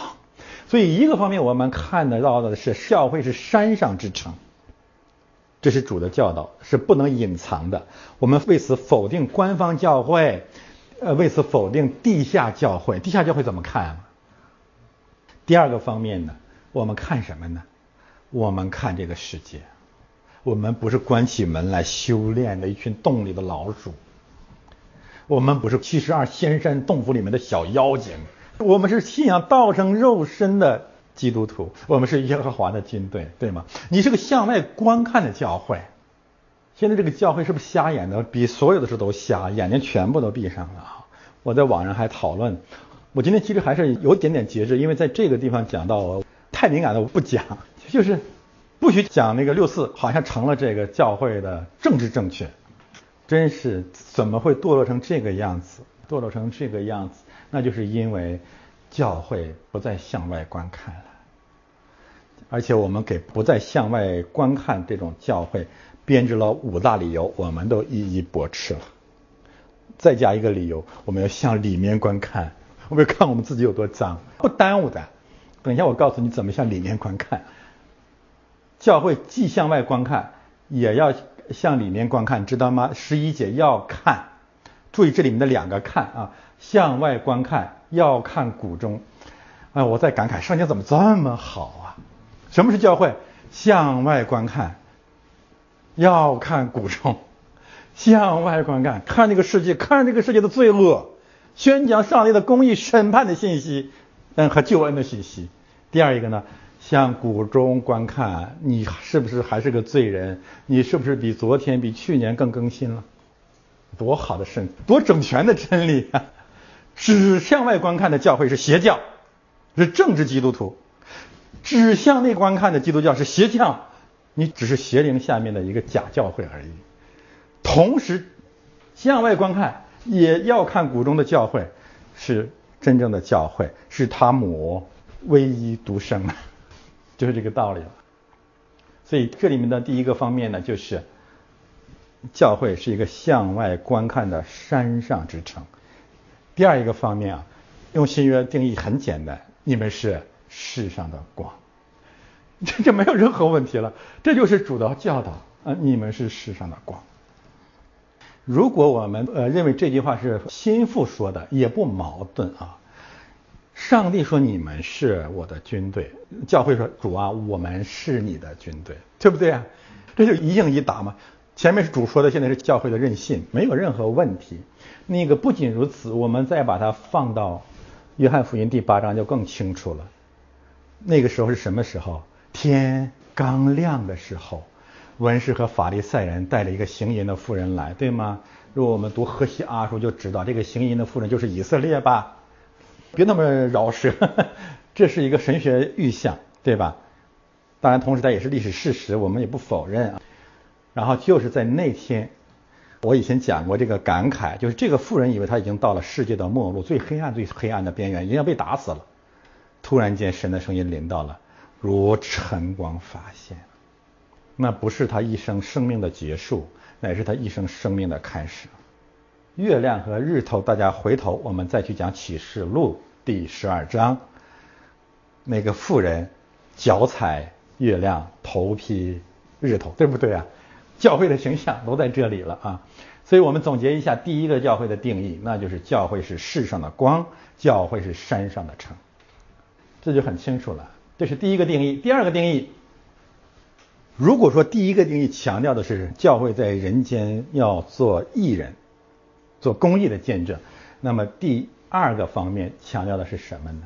教会要不断的反省自己。我下到核桃园，要看谷中青绿的植物，要看葡萄发芽没有，石榴开花没有。看我的奖章，我这里面讲结论啊。我们每天来到教会，我们每次来到神的面前，我们要常常进入教会，就常常来到神的面前干什么？看我们的新生命开始了没有？看我们更新了没有？看我们有新生命的迹象没有？这个时候你还不要指望结果子，现在正是发芽开花的日子。发芽开花是什么意思？你这个垂死的生命，被人控告、被审判、被践踏、被侮辱、被弃绝的生命，你现在在神的谷中，你现在在这个园子里面的时候呢，你要常常去看看你自己，照照镜子，去更新、去反省、去自省。所以你看第十节和第十一节是何等的均衡的真理。看这个世界，然后你看你自己，什么是真正的教会、真正的基督徒？这里面也让我们再一次感慨。因为向外观看呢，做世上的光啊，人类的良心啊，民族的良心啊，公共知识分子都是这一套，对不对啊？作家都是这一套，专门照耀别人啊，权势主义者都是这一套。我我说的权势主义者，迪奥根尼拿着灯笼专门照别人，都是这一套。但是呢，如果你缺少第十一节的见证，你一定是你正好是什么？你正好应用了圣经上的另外一句话，就是撒旦也装作光明的天使，光明的前面对不对啊？明亮之心，早晨之子，专门照耀别人的。所以这个基督徒和魔鬼之子有的时候是特别像，真的很像啊，就像共产主义很像基督教，明白吗？很像，像不等于是啊，而且往往是越像越是敌人，不像还好一点，因为越像越越不好分辨嘛。那么我们怎么来分辨呢？其实第十一节是试金石，那就是你看这个人，无论他说的怎么道德的高调，他有没有一句话、一篇文章、一本书、一个见证也好，什么也好，一篇一场讲道也好，讲一讲我是个罪人，神救了我呢？还是他所有所有的信息都是如晨光发现，都是美丽如月亮，都是皎洁如日头？如果没有第十一节，只有第十节，他。必是魔鬼之子，所以这是我们分辨真假基督徒和真假教会的第二个方面，那就是我们重点要看基督徒教会传道人是不是同时具备现在这三个特点，同时啊，同时。这一点很重要啊，我特别提醒，包括我本人在内，就是中国知识分子，如果你要变成了基督徒的话，往往就是停留在第十节。如果你仅仅停留在第十节，没有第十一节，等一下我还会展开讲，特别是第十二节，你会比以往任何的时候更邪恶，更像魔鬼，更被咒诅，甚至对你的咒诅会祸及到你的儿女。第十一节原因我已经强调了，那就是你从不认自己的罪，指定别人的罪。你加入基督教，你好像认为在你以往的荣耀之外又增加了一个荣耀。你明白吗？好多人信基督是这样来信的。哎呀，我以前有名有势有钱有权有功成名就，诸如此类的，就是很优秀的人。哎呦，我到了西方了，或者我接触福音以后，我再在优秀当中更加优秀一点，那就是我还是一个有信仰的人。你知道吗？这个时候魔鬼多开心呐！就是你信基督那一天，你就比以往任何的时候更成了魔鬼的儿女了。我不知道这个数字对不对，大体这么说吧，百分之七十甚至到百分之九十的基督徒是这种东西啊，都是魔鬼的儿女。就是他们进教会信基督，是为了把在以往的贵族气质之外，再加上点更贵族的气质，洋气嘛啊，洋教。我信信基督，我是个有信仰的人，我跟川普有一个共同的信仰，跟世界上最了不起的人拥有共同的信仰。我要去教会，我是基督徒，我是基督徒作家。这完全完全真的在糟蹋我们的信仰，完全搞反了。我们还是那句话，就是基督来呼召我们，是吩咐我们去死。没有死过的啊，没有向罪死过的基督徒，一定是假基督徒。而且不想死还要让别人去死的，就是你信了基督以后，你觉得你以前不仅更有荣耀了，更有贵族气质了，而且你还要拿着圣经口含天线的去定别人的罪，要别人去死。那么这个时候，你就是彻彻底底的，世俗的角度来讲，你流氓作家；神学的角度来讲，你就是灭亡之子了，没有任何任何的问题。所以中国人信基督教，中国的精英信基督教，我认为啊，是整个世界里面最危险的事儿。最危险的就是中国人信教。而这个危险最典型的表现就是，以前靠肉身把粪坑先生变成贵族气质，现在是靠圣经把粪坑先生变成龙的传人。原因就是他们从来不看骨中的自己。我希望我真的把这个问题讲清楚了，这真的很危险。我们今天在这里面讲，不是要。不是从私意出发啊，这是一个现象啊，是一个普遍的问题。这叫什么现象啊？我不想说这个名字了，都都几乎不太想说这个名字了啊，我怕脏。我也不是说我自己有多圣洁，但是这种现象本身真的很脏啊，是上帝所咒诅的污秽，是当灭之物。就神感到恶心啊，神感到恶心。为什么感到恶心？因为你在窃取上帝的荣耀。但是仅仅到这个阶段还是不够的，还要要有第三个阶段更重要。在进入第三个阶段之前，我们解释一个名词，因为这个名词在这里出现很突兀。核桃园从来没有过核桃这个词哎，而且整卷圣经当中只有这么一次出现了核桃。为什么是核桃园？不瞒大家说，找不到答案啊，没有学者解释这个问题。好吧，今天你们有福了，我来解释一下。其实这个词没有别的含义，就是葡萄园啊，就是核桃园啊，就是核桃园。但是呢，我们再一次的感慨啊，就是雅歌是诗歌，诗歌是要用点的，但这个点呢，并不是从圣经来的啊。我讨厌百度这个假的搜索引擎，但是它里面有一个信息给你解释核桃的原产地是哪里呢？以色列是没有核桃的，原来是没有，中国也没有，世界其他地方也没有啊。核桃的原产地是波斯。我们就豁然开朗了。谁在波斯的王宫里？以斯帖。所以我们借着这个概念可以知道，这里面在继续的在讲以斯帖的典故，可以得出这样一个结论。我当然不能说百分之百这么解释，至少我们找到了一个答案。一个方面，我们绝对的认为圣经没有一个词是没有意义的。没有一个词，特别像诗歌啊，雅歌这样的诗中的诗，歌中的歌啊，每一个预象，每一个典故都是有所指的，是个典故啊。第二一个方面呢，就是圣经也会有其他的线索互相映衬，不然大家想一想，这个以斯帖怎么得救？你说长得那么美，然后现在就是一人之下，万人之上。我想一个特别优秀的人，就是各方面都很成功的一个人。他如果意识不到自己是个罪人，需要更新，他这辈子其实比所有的人都悲惨，而且他不可能得救。所以，我们从米斯提和从约伯身上都能看到这个危险，这个巨大的危险和隐患。所以一个人各方面都特别特别好，一定是是你是更容易落入咒诅当中的。所以我们啊看到这个王后，看到东方另外一个至大之人就是约伯，他所经历的这种更新，都是神真爱的一个彰显。好，这里我们就呃发回到这个地方，看第三个定义：不知不觉我的心将我安置在我尊长的池中。不瞒大家说，没有人知道在说什么，而且这个翻译也也很糟糕。然后你看英文的翻译更如坠无里雾中，不知道在说什么。一个方面，学者们普遍认为啊，这是雅各当中最难解的经文；另外一个方面呢，关于这节经文的解释是五花八门、精彩纷呈、莫衷一是。有一千个雅各书的作者，有一千种解释。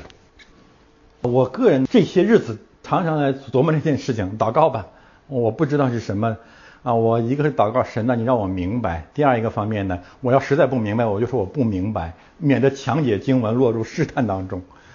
现在我能领受的是这些啊，我觉得他讲的基本的道理，相当于彼得前书二章九节和八节，不知不觉相当于八节，我我没写在上面。后面这部分呢，我的心将我安置在我尊长的车中，相当于九节。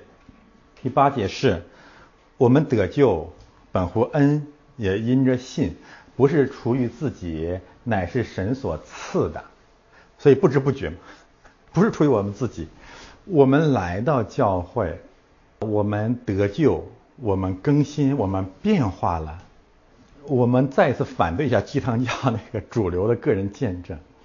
其实我跟大家说，我们最诚实的说法是不知道。这个字的原文就是不知道，我不知道。我怎么得救的？我不知道。我怎么更新的？我也不知道。我完全是被动的。就是这么个道理了，被动的啊，这也是我们刚才讲的流氓作家也好啊，这个钻当侠也好啊，这个第一嫖客也好啊，文化基督徒也好啊，就是你写的那些东西啊，和那些呃鸡汤教灵恩派那些见证啊，基本上都是谎言。你不仅对别人的罪啊信口开河，呃撒谎成性，你对你自己的义和更新也是如此。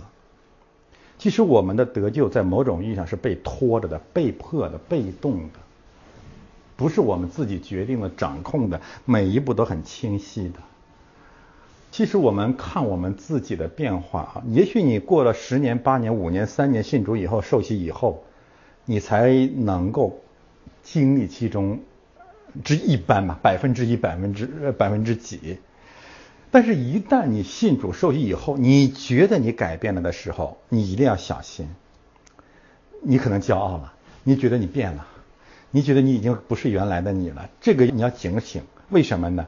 因为你一旦有这样的一个印象的时候呢，你就会，你就会骄傲了，你就会不需要教会了，你会挑牧师的毛病。我不是说牧师不能挑，你就觉得你已经有三年了、五年了，我已经有新的看见了。啊，这个时候你会起来，一定会起来，魔鬼一定会激动你起来的。原因就是你已经自己，你觉得你已经知道了啊。我知道的意思就是这里，这个词就是蛇说你们知道善恶那个知道。但是心腹和教会这里面放下了这种知道，他宣告的是我不知道，我不知道啊，我不知道当把这个救恩、成长的荣耀和恩典都归给神。这是一一个这句话的解释。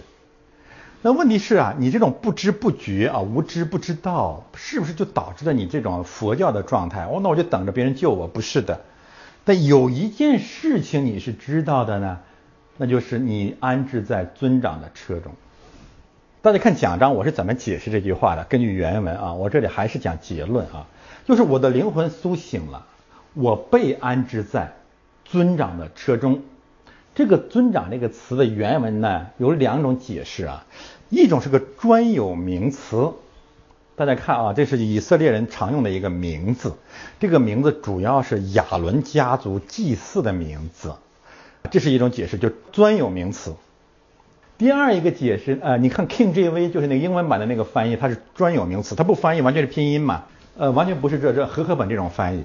第二种翻译这个尊长的意思呢，就是我的百姓，my people，我的百姓所愿意的、所信仰的、所遵从的，就是我的灵魂把我安置在我的百姓所遵从的车中，我的百姓所信仰的车中，或者安置在那些具有祭祀的、有尊金尊的祭祀的传统的车中，就是这个概念了。什么意思啊？虽然我不知不觉，那我怎么得救？靠什么得救？那就靠在车里面待着吧。这车是什么车？这个这个车我不需要太多解释，就是教会了。就是圣殿了，就是一个移动的圣殿了。我为什么把车中呃解释为圣殿？看讲章啊，在圣殿的很多很多描述当中有车子的概念，这个可能你们以前没有注意，也是很多人没有注意，所以不知道车子是什么。耶和华向我们显现的时候，往往有一个词叫车辇，然后呢，在圣殿的描述当中，里面有很多车子的意象啊，我我不展开说了啊。车子解也是为教会和圣殿没有问题啊，对谁都没有难处。那么尊长的车中，意思就是，无论上面两种哪一种解释，讲的都是我们常说的圣礼型的教会。好的，我把这两节话合起来，什么意思呢？呃，第一个我们讲我们是世上的光，第二个讲我们是蒙恩的罪人，不断的更新和反省。第三个问题讲的就是你唯有在。教会当中，唯有在真教会当中，唯有在圣礼型的教会当中，你才可能是世上的光，你才可能是一个反省和更新着的生命。这个结构太明显了，你才可能够理解什么叫不知不觉。听到、领受圣礼、经历洗礼，圣灵在我们的身上，所有的变化和更新都不是从你的意志出来的，都是上帝从外面让你不知不觉的加给你的。对吗？所以特别清晰的真理，而这三个教会的真理合起来，让我们进一步的知道怎么分辨真假。你这个教会是公益的见证者吗？你这个基督徒传道人，你这个基督徒作家，你是一个不时时反省自己罪恶的新人吗？你这个假弟兄，你是常常的在圣道和圣礼当中不知不觉成长的人吗？这是什么？这是我们这些年不断讲的三个基本的信息，对不对？所以圣经的真理是这样的前后一贯。我们看最后一节，又回到了世人跟教会的关系啊。前面说你你的新郎在哪儿？这次他就开始来，我们用一个很不堪的话，就开始来调戏妇女了。调戏妇女，回来回来，苏拉密，你你回来你回来，是我们得观看你，也可能。教会扩张了，教会得胜了，上帝祝福了啊！不管什么原因吧，现在这世上的人开始来围观教会。整个的康斯坦丁大帝归正之后呢，整个罗马帝国全境把基督教变成了国教，西方被称为基督教的世界，人们愿意归信基督教。但是随着这种国教化的运动的发展呢，其实教会越来越成为一场表演了。对吗？那你去天主教，你看这些大教堂啊，你看现在传道的那个基本的风格，其实就是一群戏子啊。这话当然很难听，以前说的好听一点，以前说的就是属灵表演艺术家。现在我们回归吧，这些人开始喊了，说回来回来，苏拉密女，你回来你回来，是我们得观看你。有一节经文呢。啊，这里我们没没有引用啊，应该是耶利米书里面的话吧。就是圣灵使用这样的词呢，有一段平行的经文讲的就是犹太人从巴比伦你回来回来，所以它有正面的含义啊，就是现在你们要回来了，回归回归嘛。整个的犹太人啊，耶路撒冷的众女子啊，呼喊这个苏拉密女回来，回到应许之地都有可能啊，都有可能。但是不管怎么样，就是世人对教会的呼喊，呃，苏拉密女，苏拉密女这个概念在雅各当中只出现在这一个地方，出现了两次。大家如果去看一些所谓比较严肃的啊，即使是严肃一点的雅各释经著作，他们从头至尾把那个心腹的名字呢命名为苏拉密女。C P H 的那个那个专著，那个巨著这么厚的那本啊。从头到尾就是这么讲的啊，我认为这是一个完全错误的讲法。第一呢，就是雅各当中的心腹是不是指的，或者完全指的，总是指着苏拉密女，这是可疑的。不一定，不一定。第二个原因呢，就是这个苏拉密这个词本身不一定是专有名词，它也有可能就是它这个词的原意。我讲过了，在导论当中，书念的女子也好啊，雅比莎也好啊，或者呢，它本身就是女所罗门也好啊，或和平之女也好啊，传和平的福音的女子也好啊，见证基督平安的教会也好啊，都有可能的啊。所以呢，我们就不展开说了。知道的是，就是世界对教会有一个巨大的试探。一个方面，我们前面看到了，教会有两种观看：向外观看，看要看谷中；这里面呢，世界要看我们，世界要看我们，世界看我们啊，给教会产生了极大极大的试探。会让我们有一个，就是萌发一种巨大的虚荣心和名利欲。我们渴望被成为世界注视的中心，因为这个注意力本身是经济学，对吗？转发点赞更多就是赚钱更多，就就这么简单了啊，就这么简单了。所以我个人理解的就是，当前面所有所有的逼迫、控告、伤害这些残忍的战争被主屏蔽掉、消灭掉之后呢？其实接下来魔鬼会用更狡猾的方式回来，是现在我们喜欢你，我们喜悦你，我们喜欢基督教，我们要建立国家教会，我们要建立三次教会，教会是个好东西嘛，我们要看一看你，把玩一下。大家知道，其实这是教会最大的试探。我跟大家这样来讲吧，基督教在西方世界成为国教，特别是宗教改革，美国建国，呃，这个欧洲重建以后。其实基督教面临着前所未有最大、最残酷的试探，这种试探远远超过罗马帝国三百年的大逼迫。我们看到了啊，三百年的大逼迫，基督教是节节胜利，从一个小老头叫保罗的人，变成了一个就福音覆盖了整个西方世界。但是呢，就是在基督教成了西方的国教以后，其实整个的基督教就不断的在走世俗化。整个的基督教就在不断的变成舞女，所以我对当下的这场黑暗的时代和逼迫，我真的知道背后一定有神的美意在里面。那么面对这样的一个巨大的试探，我们怎么做出反应啊？感谢主，这才是真正的教会。你看我，你想看我，你想夸我，我就会上当吗？不会。你们为何要观看苏拉密女？像观看马哈念跳舞的呢？这句话应该在呃贴在刚才那句话下面。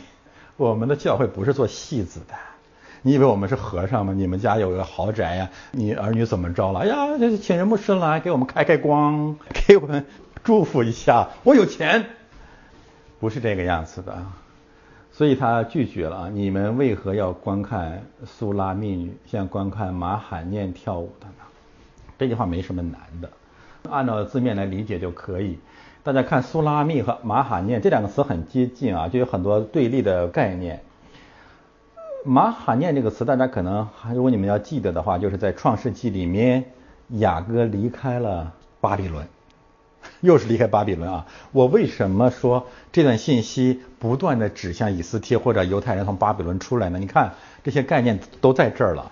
当时也是从巴旦亚兰回来的，在马哈念那个地方，有二军营、天使、天军两部分军队的人向雅各显现。那是在雅各一生当中最黑暗的日子，对吧？后有追兵，前有仇敌，后有拉班，前有以扫。但是真是有意思，两股仇敌，上帝派来了两支军队。你知道这有什么祝福？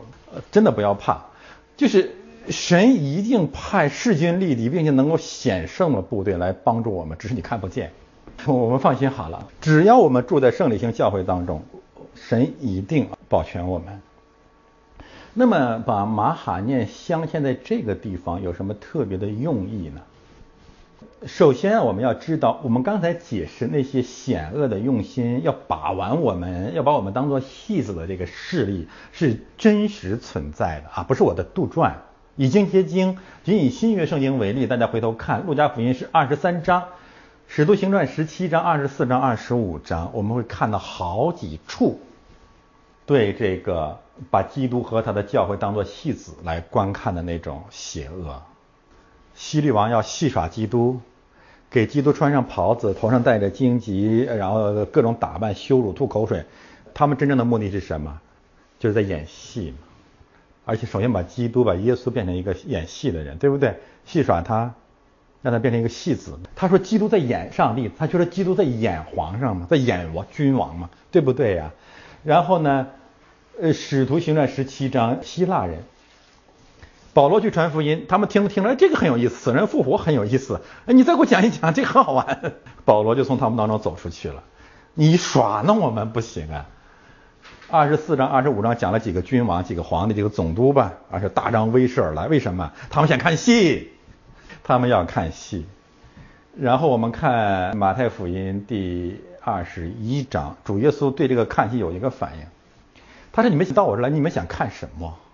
你们到旷野里里面想看什么啊？看什么风吹芦苇吗？还记得那段经文吗？”啊，你们想看富人吗？想看贵族吗？达官贵人到宫里去看，你到我这看不见呐。然后他还讲平行的信息，我吹笛你们不跳舞，等等等等。最后他宣告了审判，这个波塞大呀、加百农啊，还记得吗？明亮之星、早生之子那些啊，你们都是要升到天上去了。那所有这些被咒诅城市都是被咒诅的，最后真的被咒诅了，都灭亡了。这什么意思？基督和他的教会，这个信仰是非常非常非常严肃的事情。我们现在所传讲的上帝是一个公义的上帝啊，是一个救恩的上帝，是个审判的上帝。而教会本身掌握着钥匙权。如此严肃的事情临到了世界，临到了这个罪人的面前，你把我们当做一群演戏的人，并且戏耍我们，其实你正在灭亡，你正在面临一个巨大的审判。万丈的深渊却不自知。西方有一个哲学家叫齐克果，应该是他讲的一个寓言，非常生动，就是剧场里的小丑。这个世界像一个巨大的舞台，然后呢，场上呢就变戏法的、说相声的，然后耍杂技的也好，后面的人都是相当于今天的这个这个啊达人秀。下面的人很嗨啊，也相当于过去的罗马斗兽场啊，诸如此类吧。正当大家这个。掌声雷雷动，高潮迭起的时候，突然有一个小丑从后台跑到前面来说：“着火了，着火了，着火了！”然后大家就乐得前仰后合，这个太搞笑了，这个太可笑了。其实就在这个时候，后面真的着火了，所有剧场的人都被烧死了。今天啊，神差遣他的教会，你说圣灵的火也好，在这个世上点燃了啊，记着他的仆人，像像启示录第十一章一样，两个传道人披着麻衣在传道。世人以为我们是戏子呢，所以啊，到哥林多前书和希伯来书啊，经文在那个地方，保罗用十分，我认为他是用一种非常悲愤的心情在强调我们被人，包括希伯来书的作者被人当做戏景来看。哥林多前书，保罗现在你们都要做王了啊，你们彼此攻击，教会内部出了很多风波。然后保罗说：“这个时候，我因为传道的缘故，正在被世人各种逼迫，被人当作戏景羞辱、谩骂、追赶、监禁、杀害。我成了戏景一样被人观看，神把我变成了幕后的使徒，像演戏一样给别人看。所以很多有人反驳我说：‘哎，你怎么是总批评属灵表演艺术家？’是新约圣经明明说我们成了戏景，你这种无知的这。”真是愚妄人呢！那保罗是说他想当戏子吗？保罗是说你们把我当成了戏看了。希伯来说也一样啊，讲的是同样的背景，我们被杀、被逼迫、被追赶、被羞辱、被践踏，成了戏景让世人看。这种戏不是演戏，这种戏是什么？我们是在用我们的生命，用我们的血泪，用我们的信仰，用我们的爱情。来为救恩和审判做见证，所以啊，我们这样的讲法是有圣经充分的根据的。我们不是世人的戏子。马哈念也一样，你现在是面临上帝的军队在你的面前，你却去竟然以为我们是跳舞的，明白了吗？这何等有冲击力的一个画面呢？为什么现在好多的教会这么的着急？一定要盼望更多的人来进入教会，为此想尽一切的办法。昨天我去咱们的教堂，我带着相机我去拍我们那个小教堂的尖塔，我突然发现有巨大的海报在上面贴着，就是一个英文查经班。我没有别的意思，我心里真是特别特别的难过。你用这个东西来招揽人干什么呢？我不责备某一个具体的牧师啊，因为这是所有西方教会的共同毛病。以前还有很多人跟我出主意，你们教会想点别的辙吸引人。你说什么辙不就让我当舞女吗？我要能够吸引更多的人，最有效的办法就是我脱光了呗，啊，看的人更多。一个方面，我们对神的道本身的力量失去了信心，比外邦人还没信心呢。好多人都问我回国传福音，见这自己身边的人，哎，牧师，我怎么给他传啊？你知道，大家你们也经历过，我每次讲的都是一样的话，你就讲圣经，好不好啊？你说你自己都会觉得，哎呀，我讲圣经，人家讨厌怎么办？人家不听怎么办？基督徒你跟他讲神爱世人，甚至讲他独生子赐给他们，然后。使一切信他都不至灭亡，反得永生。然后就跟我说，我跟他讲这个，人他反感呢，他不爱听啊，他也听不懂啊。那我就说，那你问我是什么意思？我给你出点高招呗，就是怎么能够委婉呢？然后用各种方式的说，哈佛大学有人信主了，嗯，川普也信主了，用这种乌撒的手来帮助你们。大家明白这里面藏着一个什么什么什么样深刻的真理吗？那就是我们这些传道人，我们这些基督徒，我们自己认为上帝呢用圣经让我们讲圣经来传福音不够高明。这个世界还有很多更高明的手段，多无知啊！所以我告诉今天所有听这篇道的人，你就用最愚拙的办法去给你的亲人传福音。最愚拙的办法就是，你哪怕就是跟他一字一一句的读圣经，也比你的高招更高明。否则的话，你将来可能会带很多魔鬼之子进教会，他信了也是假信。还有一点更重要的是什么呢？你要相信啊，你讲的这个圣经不是你在讲，不是你有什么了不起，而是什么？圣灵一定随着他的道同时临到。抗拒圣灵那不是你的责任，你不要对这个讲到的结果负责。但是如果你不用圣经讲，那是你的责任。我们的这种虚荣心，就这种戏子的心态，这种跳舞的传统太根深蒂固了。就是我能不能弄点花样？我能不能迪斯科看厌了？我跳一个什么现在啊？拉丁？你为什么要这样呢？你不愿意来我们教会是不是？那我来啊，我们教英文。然后有的时候贼眉鼠眼的这个牧牧师也好，教师也好，趁机的讲点圣经的英文。我们基督教什么时候这么可怜？我们的基督教是什么？那威武展开旌旗的军队在哪里呢？啊，气死我！那谦卑的屈膝的展开英语教材的人呢？蒙特利尔华人基督教还永远没有英语班，要学到别的地方去学，我们这儿没有。你说那个爱心呢？那爱心可以呀，到领到你们家去教英文吧。教会是神的殿，是万民祷告的殿。哎呀，我这讲跑题了，回来了。马哈念是二军兵的营地，当然这个马哈念呢，你可以不做专有名词，就是两个营地。跳舞的没有别的，就是舞女啊，就是跳舞，就是舞者，这个不需要有更多的这个展开。我还是劝所有的教会少一点兴趣班，少一点别的跳舞的姿态，诚诚实实的、专心的讲圣经。包括咱们教会的儿童主日学，我知道好多人给我们提建议啊，就这种那种，我们还是固守一个底线。兴趣啊，活泼一点，这当然是要追求的，考虑孩子们的生理特点啊。但是你要有一个基本的信息，那就是孩子们听得懂圣经，而且比我们更懂圣经，这有孩子做见证。呃，不许骄傲啊，很多时候比我们对圣经的领受。更充分，而且如此宝贵的时间，如此宝贵的年龄，就是真是开花长叶的日子里面，你不给他灌牛奶，你为什么要让他吃屎呢？那 我说话有点难听了，一旦打下坏的根基，将来改起来真的就太难了。我们也有圣经上的根据，怎么说？提摩太呀，你要明白，你从小就明白圣经，好吧？主日学老师回来了，小心了啊！我们的主修老师是最好的，还是讲圣经的啊？好的，我们今天的这些经文的解释基本上就完成了。现在我们做一些总结性的应用。我们的应用呢，重点要打开的经文呢，就是今天雅歌第六章最中心的这节经文，六章七节，如同一块石榴，你的太阳在帕子内，这是原文的顺序啊。和合本的翻译是你的两太阳在帕子内，如同一块石榴。上次我们简单的讲了讲这节经文的含义啊，今天我展开说一下石榴的应用，在旧约当中大量的篇幅呢，都是出现在圣殿里面的祭祀的木袍也好，圣衣也好，是那里面最重要的装饰之一。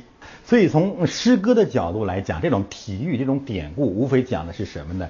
教会圣殿，两太阳在帕子内，呃，强调的可以是什么呢？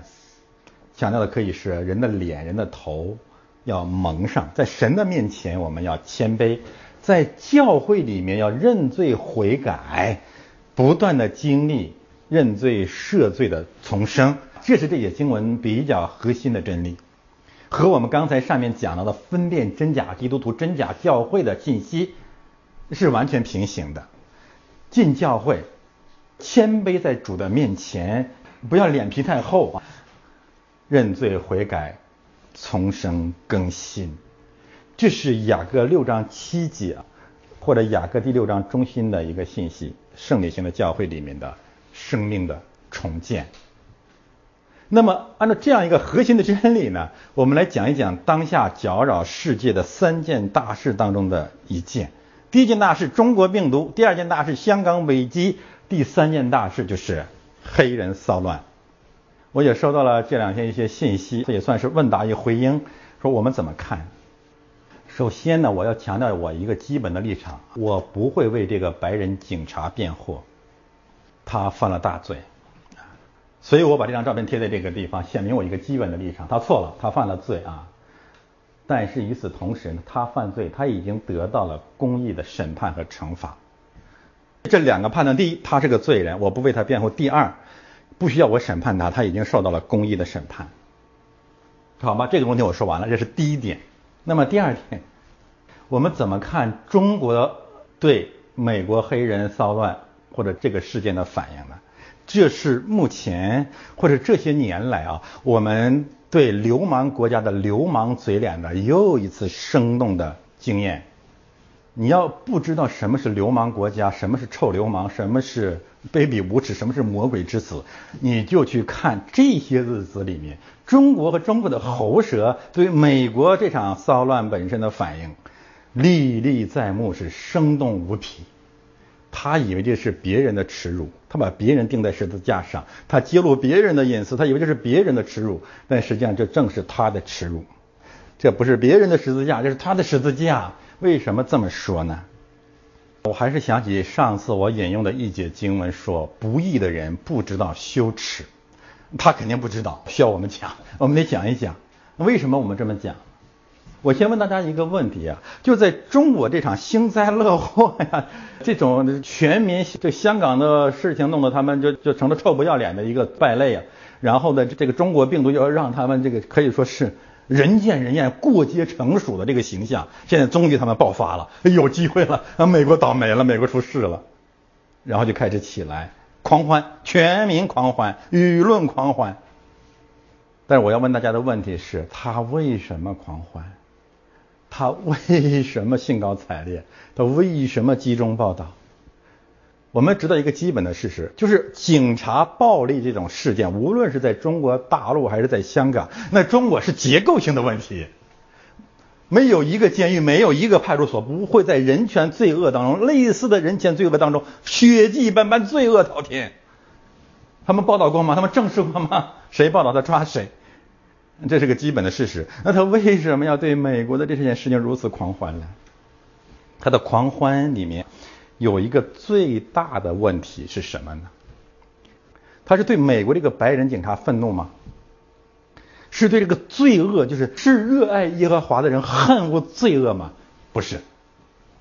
他是对这个美国黑人同情吗？呃，可怜吗？怜悯吗？要为孤儿寡妇辩屈吗？不是。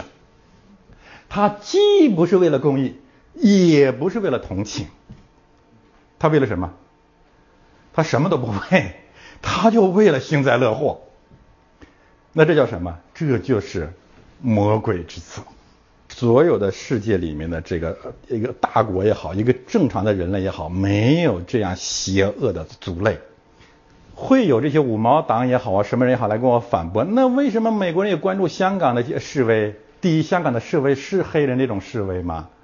第二，包括我本人在内，包括很多绝大部分西方的观察家和舆论也好，我们对香港示威的反应，我们在神面前藏着诚实的心。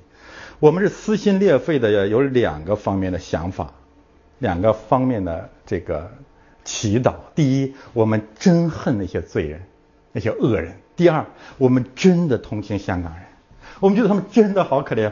我我每次提到香港人，我相信很多人也一样，真的你没办法止住眼泪。我问这个流氓国家的这些呃流氓作家们。你们有谁在这个幸灾乐祸当中为美国那个黑人流过一滴泪水吗？你们有谁真的发自肺腑的去恨那个白人警察吗？其实你们现在感谢他，哎，终于你给我惹事儿了。所以这是一个极其极其丑恶的流氓国家，无以言述，真的是罪恶滔天。不义的人不知道羞耻啊！这是群粪坑当中的粪坑，是一群流氓当中的流氓，是一群败类当中的败类，是魔鬼之子当中的魔鬼之子。求神责备他们，但是他们高兴的太早了。美国会平息的。这种骚乱黑人事件在美国历史上几年就会发生。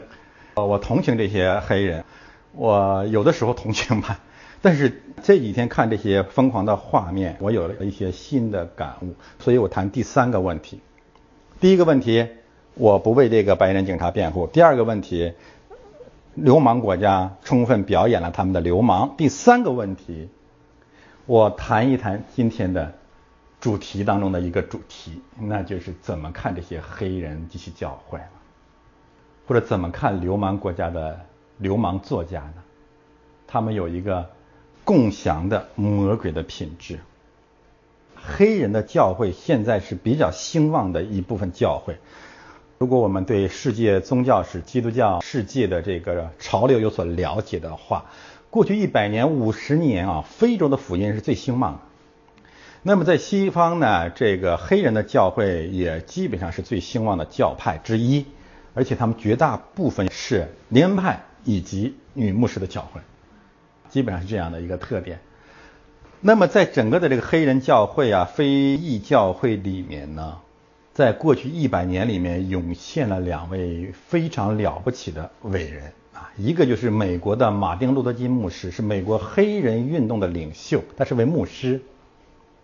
另外一位呢，就是南非大主教图图，他实际上成了南非所谓民族解放运动、反对西方殖民主义胜利的一面旗帜。这些人的正面的贡献啊，历史贡献我就不多说了啊，说的太多了。我今天要讲一讲，就是以这两位名目所代表的黑人教会的一个致命的问题。大家知道这个致命的问题是什么？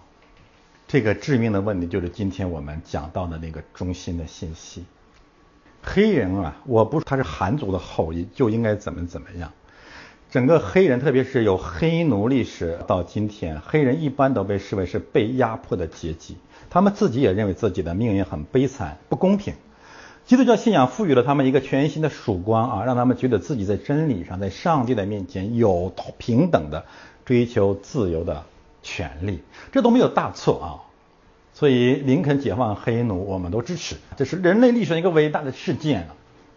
但是大家一定要明白啊，一个。受迫害的人啊，会产生一种受迫害的正义，受难者正义。受难者正义是什么呢？就是他完全不再把自己当做罪人了啊！这种秦香莲心态会熊熊的燃烧起来，就是我被欺负，所以我是对的。大家知道，在人的面前，我被欺负是对的，和你在神面前仍然是个罪人，仍然需要更新认罪悔改，完全是两个概念。如果你仅仅是一个罪人，是个受压迫的阶级，是第三世界，但是你从来也没有经历过向罪死、向基督复活，那么你更可能会成为撒旦的工具。这个道理我刚才讲过了。那么这个道理和中国的流氓作家是完全一样的，没有什么区别，对吗？就是在图图和马丁路德金所领导的这个黑人解放运动当中，这个图谱里面，这个历史里面啊，他们基本上没有向整个的黑人教会灌输一个什么样的真理呢？教导一个什么样的真理呢？那就是认罪悔改。我们这样的一个看见，足以解释今天美国街头所有黑人的乱象。问题就出在这个地方。为什么我们要批评大卫·鲍森？一个牧师，特别是一个所谓的名牧啊，就是你这个真理的宣讲，真是承担着一个巨大的一个民族性的责任。所以，为什么我们劝很多人你不要去做牧师啊？你这个结果是非常非常可怕的。如果你总是教导你这个种族、你这个族类，你们是个受压迫的，那上帝现在要解放你们，主的灵在哪里，你们就要得自由。如果你同时不去讲我们刚才讲的六点、七点圣经的真理和定义的话，你会培养一支撒旦的军队，没有底线，而且越是没有底线，越觉得自己受冤屈，所以我拥有无产阶级反抗的正义。而这种黑人的习性啊，我不说所有的黑人，我们认识了很多黑人呐，教会当中的弟兄姊妹也有很多好的啊。我不是把他说的涵盖每一个人啊，这个我也不敢。但是我今天确实要批评一下川普也好啊，美国的这个美国的极左和极右啊，你知道吗？到今天为止，到现在为止，竟然合流了，合合流到什么地方？所有的人都恨不得要往这个警察身上吐一口口水。我的意思是，可以，这个警察活该被吐苦水。包括你川普也在这一个电视上也在骂这个警察。这是政治，要讨好民意，但是传道人不可以这样。我们既不可以偏袒穷人，也不可以偏袒富人。我们要诚诚实实的，凭着公义，凭着诚实的心，按照正义分解神的道。那什么意思呢？当那个警察在街头他展开暴行的时候，我们责备这个警察；当越来越多的黑人在美国的街头施展他们的暴行的时候，我们必须告诉这些黑人，特别是黑人教会的牧师要起来。那就是你们现在正在犯罪，你们同时要回到教会里去，去认罪悔改。中国的作家我看是已经谈到了啊，有同样的问题，和黑人教会这个路数，这个基督徒的作家这个路数是完全一脉相承的。你会觉得你为政治也好，为公益也好，受逼迫了，因此你不是个罪人。别人才是罪人，逼迫你的人是罪人，你批评你逼迫的人也是罪人，但你是个艺人，这是什么？这是鬼魔，这就是魔鬼。那么这个现象，我用了这个余节现象来指所有今天我们讲的这些黑假丑恶的这个现象，脏、狠、凶，还有什么毒？我们可以用这个名字来解释。那么，所有的这些现象有三个方面的特征：法利赛人的教调节上帝的荣耀与蛇的试探。我先讲第一个概念，就这个现象分三个特点。第一，法利赛人，法利赛人呢，好像也嫉恶如仇，但是他们所有的控告有两个特点，那就是杀人和说谎。他批评任何人，既不是为了公义，也不是为了怜悯。只是为了把别人弄死，为什么一定要弄死他所责备的人呢？报仇、嫉妒，或者呢自义，因为只有吃了你，才显得我比你更圣洁。所以第一个特点就是法利赛人的教。那么为了杀人，一旦你动了杀心了啊，你责备一个人、弄脏一个人、毁掉一个人，你就会无所不用其极，会用各种流氓手段、撒谎成性的去诬告他。我们可以看这个于杰对曹长青的那个诽谤、那个污蔑，怎样的虚构编造别人的控词，最后曹长青去证实，一看全是假的，人就说我没说过，一个我都没说过。三个作家，他说这三个作家说曹长青是什么什么什么什么，是什么什么什么。曹长青说那怎么办？我打电话问问吧。人家说我没说过。我不认为他们在撒谎。我想一个这些知名的作家一点品位还是有的啊，不要人家打上门来你就否认你说过的话。为什么说没说过呢？没有文字记录嘛，网上没有文章嘛，那你怎么听见的呢？你想的，那你为什么要想呢？就是一旦动了杀机，你必然说谎。我们可以这样来看啊，我觉得基督徒不要中法利赛人的教，有一个很大的一个标准，就是你要责备人和批评人的时候呢，你如果真的是为了公益和怜悯，你不会走极端的。我们说说大卫鲍森吧，其实我批评他，但是我觉得我还是要还给他一个公道。我一直说我从他身上也受益匪浅。但是当我们从一个角度去说他的时候，只是从这个角度去说他，你不可以把一个人妖魔化。你说这个人又是处，这个人就是个什么？那不可以的。但是，一旦你在这个状态里面，在这个状态当中的时候呢，比如说保罗定义那个人是魔鬼之子，他讲的是你这个状态是魔鬼之子。当主耶稣说彼得，撒旦，你退我后面去吧，就是你这个状态，你这个现象是魔鬼之子。明白吗？这是不同的啊，所以这种现象的第一个特点就是法利赛人伪装为了公义，伪装为了怜悯，实际上他真实的目的就是吃人说谎。第二个特点，基督徒啊，包括基督徒作家有个更危险的一个试探是什么呢？他所有的这种批评都是奉上帝的名，剽窃上帝的荣耀。这个更可怕，就妄称耶和华你神的名。我这里面强调的不是第一嫖客，就是你这些年写的很多很多的文章都是偷来的，这当然是事实。最不能容忍的是，你现在号称你是基督徒，实际上你又不是。为什么不是？我已经讲过了。你不仅剽窃香草山，你现在还把基督跟教会的爱情，呃，还原成你跟你老婆的爱情。我们可以用一个比较文雅的话来讲，这是我们见过的这世界上不要脸当中的最不要脸的，这不可以接受的。你在羞辱上帝啊！用除埃及记里面的律法来说呢，那就是自父及子直到三四代的审判，这个要悔改，剽窃上帝的荣耀。那么黑人教会这场黑人解放运动当中呢，很容易滋生一批人起来。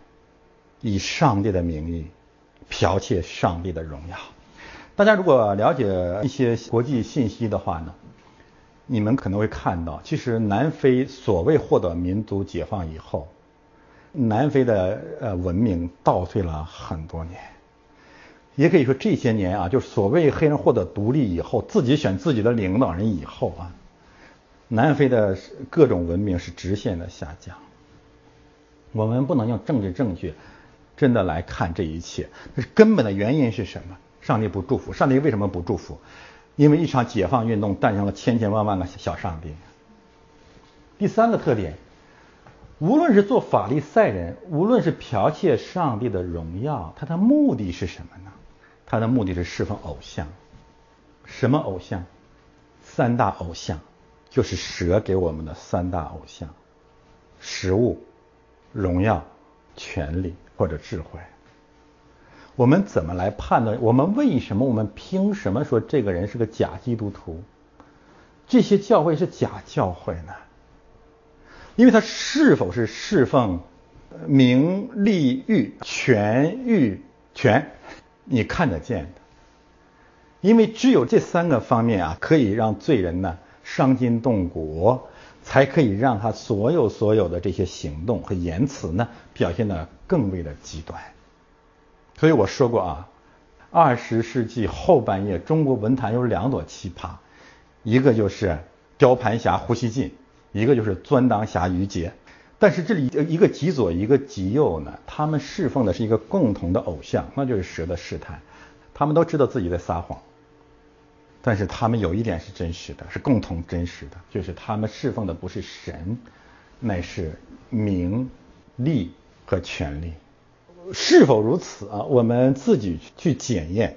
但是当我们这样来讲的时候呢，我们要强调另外一个问题，就是于杰现象不仅仅是愚节的现象，它是当代很多知识分子，特别是文化基督徒身上共享的一种邪灵。是我们自己，也包括很多很多的公知共享的一种邪灵。这种邪灵，你知道是怎么定义它？就是魔鬼三重试探，深刻的捆绑了我们。就这个话题呢，我今天稍微展开谈一谈六四的问题。这周吧是六四三十一周年。这些年来，我一直在强调两个事实：第一，教会回避这种当代史上如此重要的事件是无耻的，没有真理根据的；第二，所有对民运也好、六四也好这些攻击的人，我也以他们为羞耻，因为他们不配攻打这些人。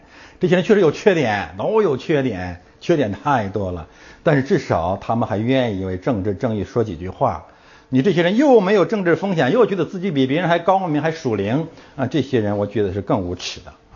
这两个事实我强调完了，现在我来讲一讲余节现象在当代知识分子以及六四一代人，包括我本人身上那种存在，需要神的怜悯。这是什么东西呢？我们看到了在基督教文明之外的中国这场反抗运动已经整整三十一年了。这场三十一年的日子呢，到了今天啊，真是让我们回想起来的时候，更是既绝望又伤感。啊，要伤感。我们盼望的是，这三十一年也应该是中国知识分子反省的三十一年。这种忏悔意识和反省意识，不是唱什么属灵的高调，它不是你要反省中国的罪恶，中国的罪恶不用再反省。你要再反省中国的罪恶，那你太傻了，不需要反省，都写在面上了。我们要反省我们自己的问题。我现在把我们放在一块儿啊，把我们和于杰放在一块儿吧。我们的问题是什么？我们的问题就是，我们都是龙的传人，我们是魔鬼之子啊！我们的救我是魔鬼之子。这个魔鬼之子的本色是什么东西呢？这个魔鬼之子的本色就是，我们都是名利之徒，那是我们真正的信仰。我们可以看到，呃，八九以后大约是两代人。我说八九这一代，从王丹到于杰，以以及到今天这些新成长起来的中国的这种艺人士也好，网络作家也好，自媒体人也好，公共知识分子也好，从反对运动到爆料运动也好，我们林林总总，我们真是阅尽千帆，皆不是啊。所有的这些中国的反抗运动有一个共同的特点，那就是我们。可能追求正义，我们可能有怜悯的心肠，但是压倒这一切的是我们个人的名利欲。我们总是希望，最终最终会希望借着所有的这些种发言存在，谋取个人的名利和欲，就是国度、权柄和荣耀。那么为了这样的缘故，会看到一个惨不忍睹的结局。这个结局是什么呢？那就是你死我活的内斗。以至于从下三路，就是无所不用其极的你死我活。如果不是因为名利欲，不可能斗到这么脏、这么惨、这么黑、这么恶心。我们可以看到这个公知的范畴里面的这种撕逼，然后你看爆料党里面的内讧。今天我们把它的真相全部的捅破就算了，那就是因为我们所侍奉的是什么呢？实际上，我们真正释放的不是基督，不是真理，不是正义，不是自由，可以有部分的有感动过的我们，但是实际上真正释放的就是魔鬼给我们的三大试探。这个问题如果不胜过啊，中华民族永远没有希望。你去看这些公知的会议，你去看这些爆料的会议，你去参加他们这些聚会。每个人的脸上其实就写了一个字，在任何的时候，任何一种发言，任何一次讲论，任何一种自媒体，任何一篇文章，他们真正要表达的是：你知道我是谁吗？就是我是谁，而不是基督是谁，永远是余节现象释放的中心。而且信了基督以后，我们会发现是任何的改变都没有，比原来更邪恶、更贪婪、更有欲望。就侍奉圣经宣告的那些粪土一样的名权和欲，比以往的时候更黑暗、更极端。现在甚至是以犹大卖主的方式，不择手段的吃死人，为了什么？除名、赚钱、荣耀自己。感谢上帝兴起的香港人。我们在过去的一年时间里面啊，我真的是很感慨。我觉得香港这场运动。包括在台湾也好，和中国大陆背景下的这些华人的这种反抗运动相比，最让我感慨的是什么？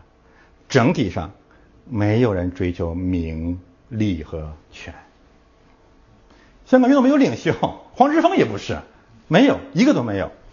第二，你会发现香港运动到今天为止，在整个香港的反抗运动当中，没有下三路黑暗的撕逼，一个都没有。两大特点让我们羞愧难当：第一，没有名利之徒；第二，没有下流撕逼。原因是什么？都在这里了，那叫信仰。所以我们借着中国的精英也好，伪精英也好，借着我们自身的这种。要看古中的这个启示也好，三十一年了，我们是个单目人，我们的眼睛只看中南海的罪恶，但是我们从来没有看到我们自己是个罪人，是一个需要胜利型的教会不断更新的罪人。我今天讲的不是什么高调啊，是我们用生命所经历的最基本的恩典和真理，没有这一天。中国就永永远远没有希望。如果没有胜利型的教会啊，我回答过一个人的提问，说中国什么时候会实现自由？我说一万年再加一天。而在名利和权、名誉和权这种侍奉当中，权力欲这种侍奉当中，海外的反对势力和国内的他们反对的势力共享一位父，他们是同一个父的儿女。他们同是魔鬼的儿女，但是这并不完全绝望，并不可怕。使徒告诉我们说，我们本是可怒之子，与他们一样，只是神救了我们。所以，我们今天站在这里，趁着六十三十一周年的这个日子里面，我们左面是香港，右面是黑人，前面是基督，后面是我们。感谢神还忍耐着我们，感谢神继续在呼喊我们。那我们怎么办才能得解放呢？我们怎么办才能真的开始自由的道路？感谢主用最简单的办法带领我们胜过了魔鬼的试探和阴间的门。大家知道是哪一节经文吗？蛇的三重试探。其实跟主耶稣基督啊，就创世纪第三章蛇的三重试探，和主耶稣基督在马太福音第六章的主导文最后一句话，正好是对立的。我们今天可以再换个角度讲讲主导文，你们会看见天又一次开了。最后一句话是什么？国度、权柄、荣耀，全是你的。我今天早上在车上想到这句话，我差点没从车上跳下来。我说主啊，谢谢你。每个基督徒都会被主导文，我才知道啊！他说：“我要我用方言祷告，你省省吧啊！就是你把主导文想明白了，你就自由了。”我就觉得我再一次被主释放了。什么时候你得释放？你把国度好多食物，国家都是你的嘛，最大的食物对不对？然后呢，权柄，你最有智慧了，你统治别人嘛，荣耀悦人的眼目嘛。你为什么会成为魔鬼之子呢？就是因为你想把国度、权柄、荣耀都归给你，为此你一定杀人说谎。但是，你真的把国度、权柄、荣耀就归给基督了，我都不要，主啊，我真的不要，我求求你，你帮我不要，我没办法做到不要，因为我是个人，我是个罪人，我是个蒙恩的罪人，主啊，借着教会，借着教会，你不断的教导我、带领我，让我不要，好不好？我们应该这样来祷告，那怎么办呢？主啊，你让我每一天来到你面前的时候，都能够这样来祷告，主啊。国度、权柄、荣耀都是你的，你明白了吗？为什么朱草文这么的伟大？全世界都握在那恶者的手下，这是圣经的启示。那现在我们也知道，魔鬼怎么就成了世界的王？所有把国度、权柄、荣耀归给自己，并把它当做实际信仰的人，都是魔鬼之子跑不掉的呀。基督来宣告我们是属他的，呃，救我们从黑暗的权势当中出来，进入自由。他同样针锋相对。你们应该这样祷告：国度、权柄、荣耀都是你的。哎，哈利路亚，这太伟大了。当然，这个功课我们要一直一直的去学。所以，主导文是我们每周必读的。我盼望那些已经就是因为熟练和反复和循环已经熄了感动的人。熄灭了感动的火，重新眺望起来。上帝的真理永远比你想象的伟大的多，长阔高深的多。因为它是神的话，因为主说我的话就是真理。就是生命啊！不仅如此，如果我们实际上是侍奉钱权欲，如果我们褫夺上帝的荣耀，剽窃什么都剽窃，呃，不仅剽窃上帝的只言片语，有圣经了呀，我也是基督徒了，而且剽窃上帝的爱情。你知道有一个无法避免的结局是什么？那就是女牧师的诞生。这两者之间为什么会有这样的逻辑关系呢？如果基督和教会的爱情是你跟你太太的爱情，意味着什么？意味着基督教在做一个深刻的篡夺。篡夺什么呢？就是把女人把妻子篡夺为教会，然后妻子女人的地位在不断的上升。所以中世纪这种现象表现为神婚啊，你们自己去查这个概念。就是好多女人，什么女修士跟基督谈谈恋爱，那么今天就疯狂的表现为女牧师的运动。所以我们最后讲讲女牧师的问题。女牧师是时下啊非常流行的教会的乱象之一。在我们讲这个话题的十年前，我们就说女牧师占全世界所有牧师的比例在百分之五十一以上，你就知道恨我们的人有多多。那么我们讲了将近十年，所以今天我不讲了，我要把这个呃连接放在这里，时间也差不多了，有兴趣的弟兄姊妹去查看。我提醒这些人，就是你想到的要反驳我的那个，我都反驳过了。我我求求你别再烦我了，我这话好像有点不够属灵。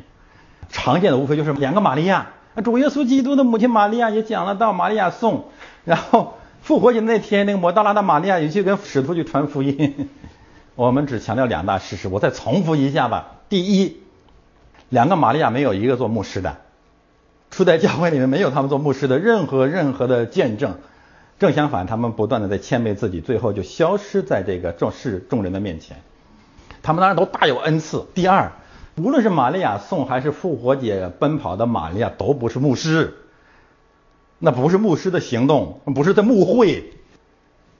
因此，我们不反对姐妹传福音。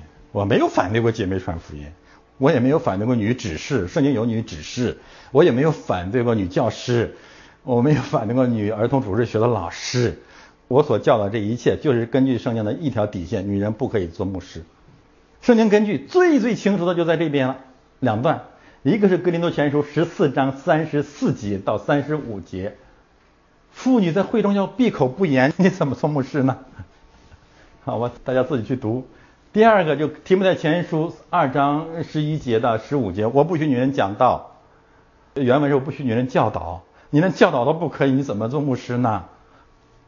然后呢，很多人又开始引用什么格林多书信里面其他的话，女人祷告，女人讲道，那我们就强调 n 遍了。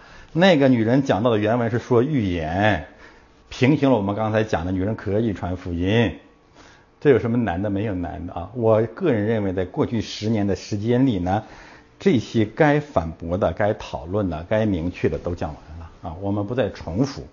只是我们今天在这样的一个语境下面看到女牧师现象的兴起啊，乃是褫夺上帝荣耀必然导致的恶果之一。